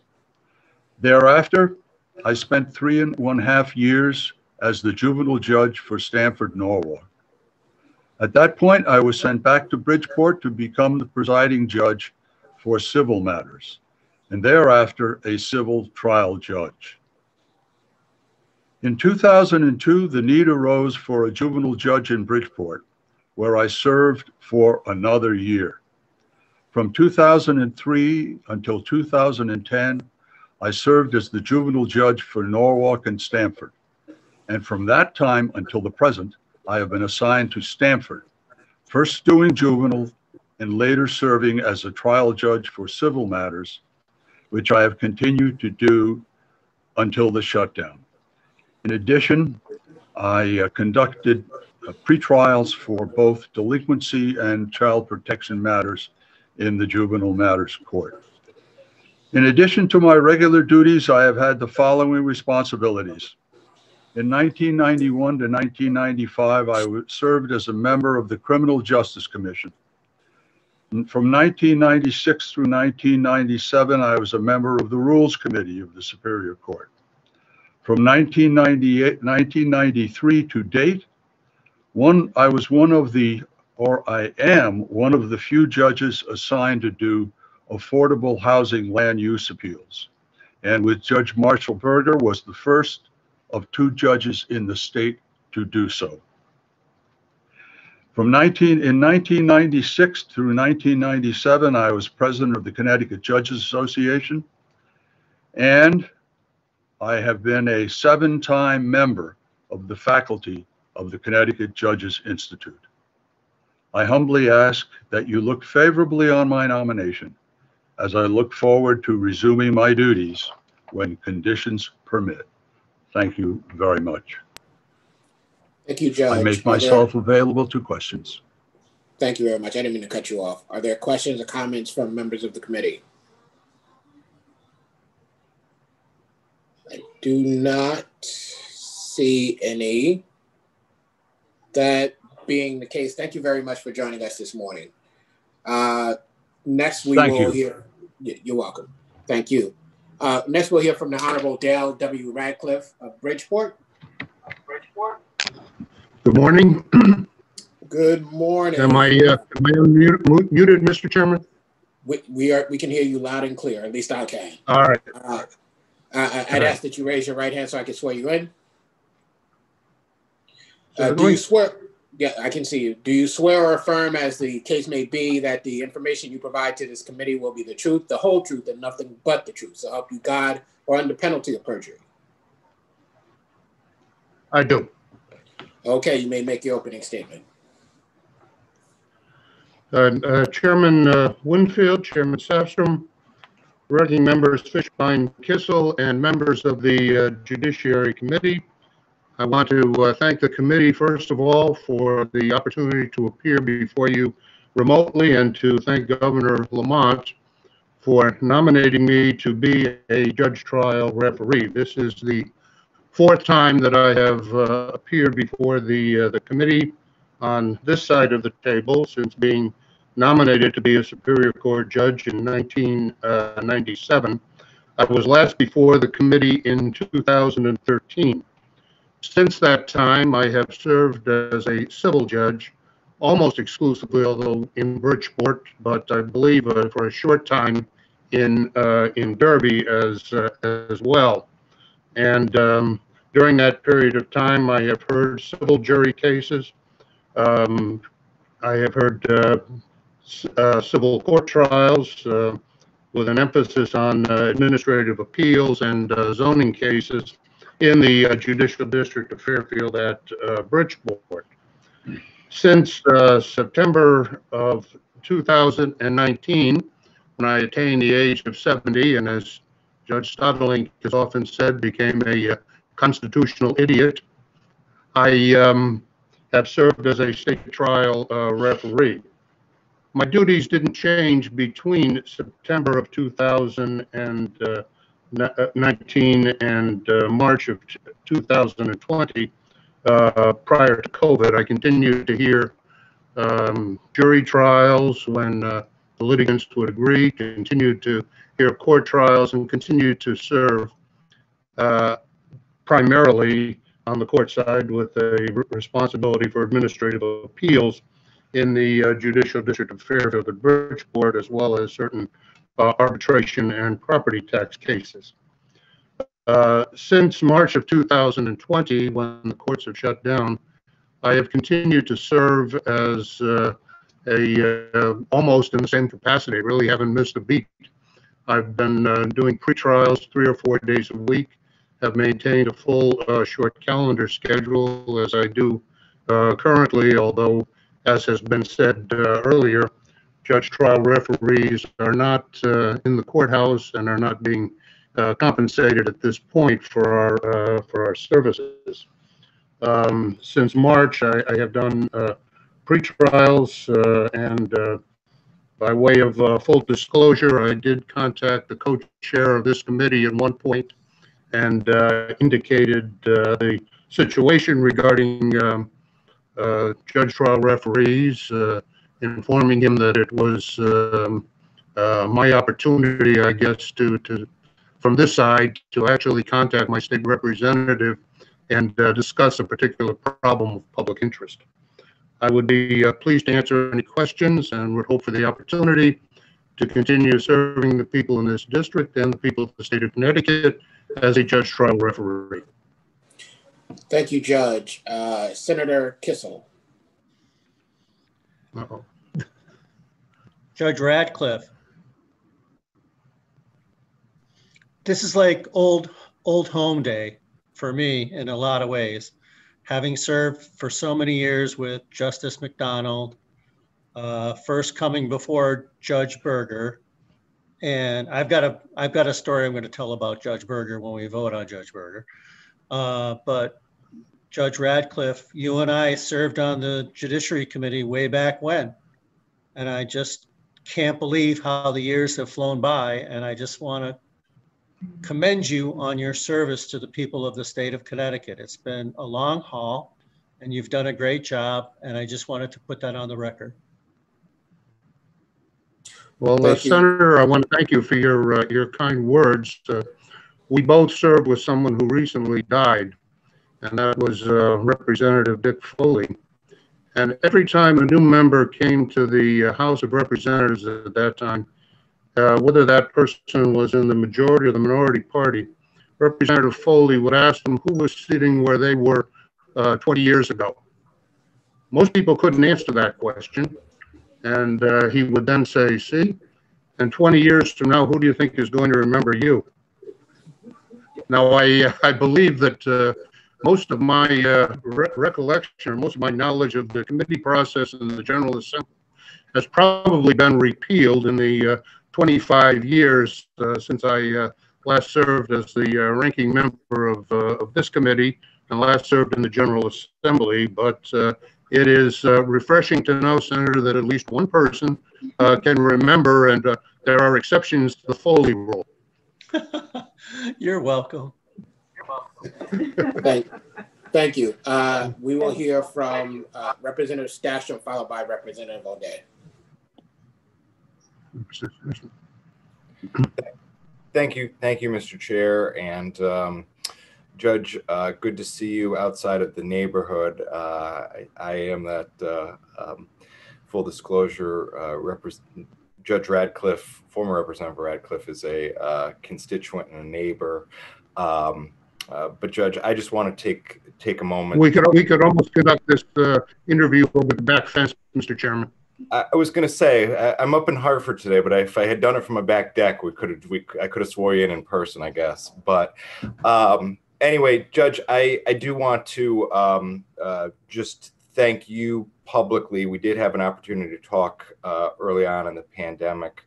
Um, and I do know there is at least a handful, maybe more, of um, uh, JTRs, judge trial referees, who really have gone above and beyond um, during this pandemic, continue to work um, almost a full slate uh, on a pro bono basis, basically. Uh, to help move business through the system, and and I know um, you're one of that one of that handful. Um, and I want to uh, publicly thank you, um, mainly on behalf of, of the Bridgeport Bar, who I know appreciates the fact that uh, you move so much business through the courthouse um, in, in, order to keep the wheels of justice uh, churning in our state's largest city. So um, thank you and congratulations on your renomination. Uh, thank you, and thank you for your uh, your kind words, Mr. Chairman. Representative O'Dea. Thank you, Mr. Chair. Your Honor, I just wanted to uh, echo the comments by Senator Kissel and Representative Stafstrom. Thank you for your years of service, both uh, from the bench and uh, as a state representative. And uh, the, the, residents of the state of Connecticut have been uh, blessed to have you in their service. So thank you, sir, and and uh, good luck. Thank you, Thank you, Representative. Senator Bradley. Uh, it's a, an honor to be in front of you, Your Honor, echoing the sentiments of those who come before me, uh, singing your praises. Uh, you and I share a special history. My first and only loss in a trial was uh, when you presided over that trial. Not to your fault, my fault, obviously, but uh, I learned a lot of lessons on that trial, and um, and, and you've always been uh, consciously or subconsciously a mentor of mine and and a, and a, a tremendous jurist. So you're much appreciated and thank you very much for that. And I, and I won't ever forget that loss. It was the first and only time i ever lost a trial. So I'll, I'll always have you in the back of my mind. Thank you. Thank you senator representative callahan. Judge Radcliffe, I'm not sure if you remember me, but we uh, we worked together in Danbury Superior Court many years ago. And I'm glad to see you're well, and I hope uh, many many many many years ago. I remember you were a uh, probation officer, uh, Mr. Uh, Callahan, back then, I believe. Yes, correct. And we used to talk high school football when I refereed. So I'm glad to see you're well. And I just wanted right. to you you were you were you were a referee, and your father was still active on the on the bench. And we did talk about uh, high school football. And there was another uh, uh, lawyer there who was also a, a referee. Um, who, um, who, who who shared a few stories as well. I do remember. I just want to say hello. It's good to see you, sir. Thank you, sir. Thank you, Representative. Are there questions or comments from other members of the committee? Mm. I do not see any more. If that is the case, thank you very much for joining us this morning, or actually afternoon now, Judge. Thank you, Mr. Chairman. Uh, next, it's, we'll hear from you. It is now afternoon. Thank you. Yeah. Uh, next, we'll hear from the Honorable Robert T. Resha of uh, Danbury. Uh, are you there? Yes, sir, I am. Okay, Judge, I need you to turn your camera on. Oh, sorry about that. Okay. Uh, would you raise your right hand? Uh, do you swear or affirm, as the case may be, that the information you provide to this committee will be the truth, the whole truth, and nothing but the truth, so help you God, or under penalty of perjury? I do. Uh, you may uh, provide your opening statement. Thank you. Honorable co-chairs and members of the Judiciary Committee, I would like to first thank you for this opportunity to present myself to your committee for reappointment as a judge trial referee for the state of Connecticut. Of course, I would also like to thank Governor Lamont for honoring me with his nomination. First, I would like to point out that in paragraph 18 of your questionnaire, uh, that is to be uh, amended. I did send a message to your committee indicating the change to my answer and the reasons for it. Although I believe my message was self-explanatory, I would, of course, be willing to answer any questions you may have in that regard. Although initially I was assigned to different courts from juvenile to criminal jury trials when I first became a judge, for about 20 of my almost 24 years on the bench, I have been assigned to family matters. In that regard, I was the presiding judge of family matters in both New Britain and Waterbury over the course of seven years have conducted numerous trials and hearings on divorce and custody cases over many years, and have been actively involved in the pretrial and mediation of complex family cases before trial. I have been humbled by the honor of being a judge, and am now respectfully asking to be reappointed for another term as a judge trial referee. I would be glad to uh, answer any questions you might have. And I'd like to thank you once again for your considerations. Thank you, Judge. Uh, Representative Rebimbas. Thank you, Mr. Chairman. Um, and it's certainly an honor, Judge Risha, to be here, um, obviously witnessing once again your nomination um, to the bench with that said, I just wanted to let everyone know that I have had the pleasure of appearing before Judge Risha in pretrial, numerous pretrials, as well as mediations, not only in the Waterbury Court, but in the Danbury Court. And I must say that this is an individual not only very well respected by his colleagues, but certainly members of the bar for being very prepared when the attorneys walk in with some of the most uh, contentious, sensitive issues in family court. Um, and I know that based on my experience, a lot of the recommendations were pretty much spot on and has led to many settlements, um, which is certainly appreciated not only by us attorneys, but the clients most importantly. So I just wanted to uh, congratulate you, Your Honor, once again on your nomination and certainly implore this committee to support it. Thank you, Mr. Chairman. Thank you so much. Nice to see you. Thank you, Representative. Are there comments or questions from other members of the committee? Uh, Representative Godfrey. Thank you, uh, Mr. Chairman. I really appreciate it. Bob, good to see you. I, uh, for, for everybody else, in full disclosure, I knew uh, uh, Judge Risha when he was corporation counsel while I was on the city council in Danbury, and that was a very long time ago. We won't talk about how long, um, but uh, he was uh, fair, a lawyer's lawyer, um, very knowledgeable, um, good at research, good at um, helping us uh, make decisions. And he has certainly done that kind of work uh, for the last uh, umpty ump years uh, while he's been uh, on the bench. I'm uh, so delighted to see you're, you're, you're not going quietly into a retirement, but you're going to continue working on for the people of the state of Connecticut. and I do commend both you and certainly urge all of my colleagues to, to support your renomination. Thank you, Judge. Thank you. So nice to see you.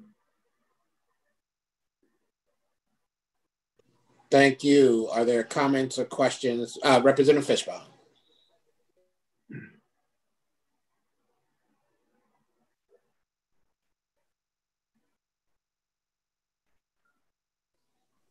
Representative. Good afternoon, Judge Risha. Nice to see you again. Thank you. Um, I don't know if you recall, but I was the family clerk when you first became a judge some 20 years ago. And, I do. Uh, and passed off. And, and I would um, agree with Representative Rebimbas that even from the beginning, you were always prepared. And I know since that time, I've been before you on a few restraining orders up in Waterbury at one time. And um, I've always thought you to be fair and um, looking at both sides, especially in these family cases that are so different. So I, I too congratulate you on your renomination and uh, look forward to perhaps working with you in the future. So thank you. Thank you. I do appreciate your comments. Thank you, Representative. Are there any other comments or questions from members of the committee? I do not see any. Thank you very much for joining us this afternoon. Thank you, sir. Uh, next, we'll hear from the Honorable John Turner of Hamden. Are you on? I see you, yes. Would you raise your hand for me, your right hand? Uh, do you swear or affirm, as the case may be, that the information you provide to this committee will be the truth, the whole truth, and nothing but the truth, so help you God or under penalty of perjury? I do. Uh, you may provide your opening statement. Well, good afternoon, Senator Winfield, Representative Stafstrom, Senator Kissel, Representative Fishbein, and to all of the uh, distinguished members of the Judiciary Committee. I'm honored to appear before you uh, this afternoon, albeit virtually. I thank Governor Lamont for nominating me to the bench for another term. This is my fourth time appearing before this body, seeking your approval to continue serving the people of the state of Connecticut for eight more years. I'm grateful for the 24 years that I have served as a Superior Court judge as a senior judge, and now as a judge trial referee. I was appointed as a Superior Court judge in 1996. In uh, October of 2017, I became a senior judge, and in October of 2018, I became a judge trial referee. My assignments have been in the judicial districts of Hartford, New London, Norwich, Waterbury, Bridgeport, New Haven, Willimantic, Milford, and outside of the geographical areas, they have been pre predominantly in uh, family and juvenile matters. Since I last appeared before you in January of 2013, I completed my assignment as a presiding judge of family in Bridgeport, and I was then assigned to the juvenile court in Waterbury in August of 2013. And I have continuously served in the uh, judicial district in Waterbury in the juvenile court as a presiding judge uh, until August of 2019. After I became a judge trial referee, I, I continued to work four to five days a week until the court operations were dramatically reduced as a result of the uh, COVID-19. And with your blessing, I look forward to continuing to serve the people of this state as soon as budgetary constraints permit and it's safe to do so. Hopefully, we will return to normal operations later this year, and I'll be pleased to address any questions that you might have. Thank you, Judge. Uh, are there comments or questions from members of the committee? I see Representative Porter. Thank you, Mr. Chair, and uh, congratulations on your renomination, Judge Turner. Um, just a really quick question, because I do have a special interest in juvenile matters. Um, could you just speak to um, what you've been able to bring to the table and how you've been able to intervene in the lives of these families to make a difference, um, effectual difference in them having contact with this system um, in any any way you desire. Thank you, Mr. Chair. Well, I think what I've brought or contributed to the bench is a sense of um, fairness, a willingness to allow every party to have a fair and reasonable opportunity to not only appear but be heard, to listen carefully to um, what it is that they're concerned with and their uh, arguments, to fairly consider them. I think that um, I recognize that I am a servant. And so when people appear before me, I take the position that I'm there to help them. I'm there to adjudicate their cases. I'm not there to uh, advocate for anyone. I'm there for the purpose of, in the juvenile court, trying to do the very best that the court system can do to address the problems that led to the parties having been brought before the court in the first instance. And those problems are numerous. And so I try and see to it that whatever services are identified that need to be provided to the family, including the child and the parents and others who are closely connected with the family, are indeed put into place and that the persons working with the families have a demonstrate a ongoing genuine interest in trying to help them. In those situations where we can help a child or a family and the family is reunited there's a great deal of satisfaction that i derive from that. Unfortunately there are also times when the services that are provided are not fully taken advantage of, and the uh, it's not in the child's best interest to be reunited with the, with the family, and it eventually may lead to the child being placed in adoption. And when that occurs, uh, I'm also delighted to see that the child has had an opportunity to be placed with a family that will love the child, provide the child with a stable and safe place to live and with love, and help the child have hope and the opportunity for a future that otherwise may not be made, made available to the child. Now, I think that when people appear before the, before the court and they see me, an African American judge, and most of the uh, litigants that I see on both the delinquency side and on the child protection side um, are people of color. I think that gives them a sense of um, that they're going to be listened to, that they're not going to be prejudged, and that they will be get a fair hearing, and that they will be able to express themselves more freely and openly than they otherwise might feel that they would be able to do. Thank, thank you for that response. And just to piggyback off of that, through your lived experience, do you think that that has had, what kind of impact has that had you know, since you brought up the fact that you are definitely a African American man, um, and we know that the justice system um, disproportionately impacts, you know, people of color, especially Black people. Um, how has your lived experience contributed to you being to effectively, you know, do your job in a way that you may um, see a difference in, in ways that other judges that don't have that lived experience adjudicate? Well, I derive a great deal of satisfaction when I hear that the litigants, no matter whether they're the plaintiff or the respondent, whether it's the child or the um, state's attorney, um, specifically state that they're glad to see Judge Turner sitting on the bench. That imparts to me that they believe that uh, appearing before me gives them an opportunity to be understood and to be heard and uh, they will be treated fairly and with respect. Now, that's not to say other judges don't do the same thing. Other judges do exactly the same thing. There's no question about that. But when when I hear the litigants say to their attorneys and the probation officers and to case uh, services officers and others, is Judge Turner sitting on the bench? I want to appear before the judge that I derive a great deal of satisfaction out of that, and that makes me believe that they have a better sense of that the justice system is going to treat them well.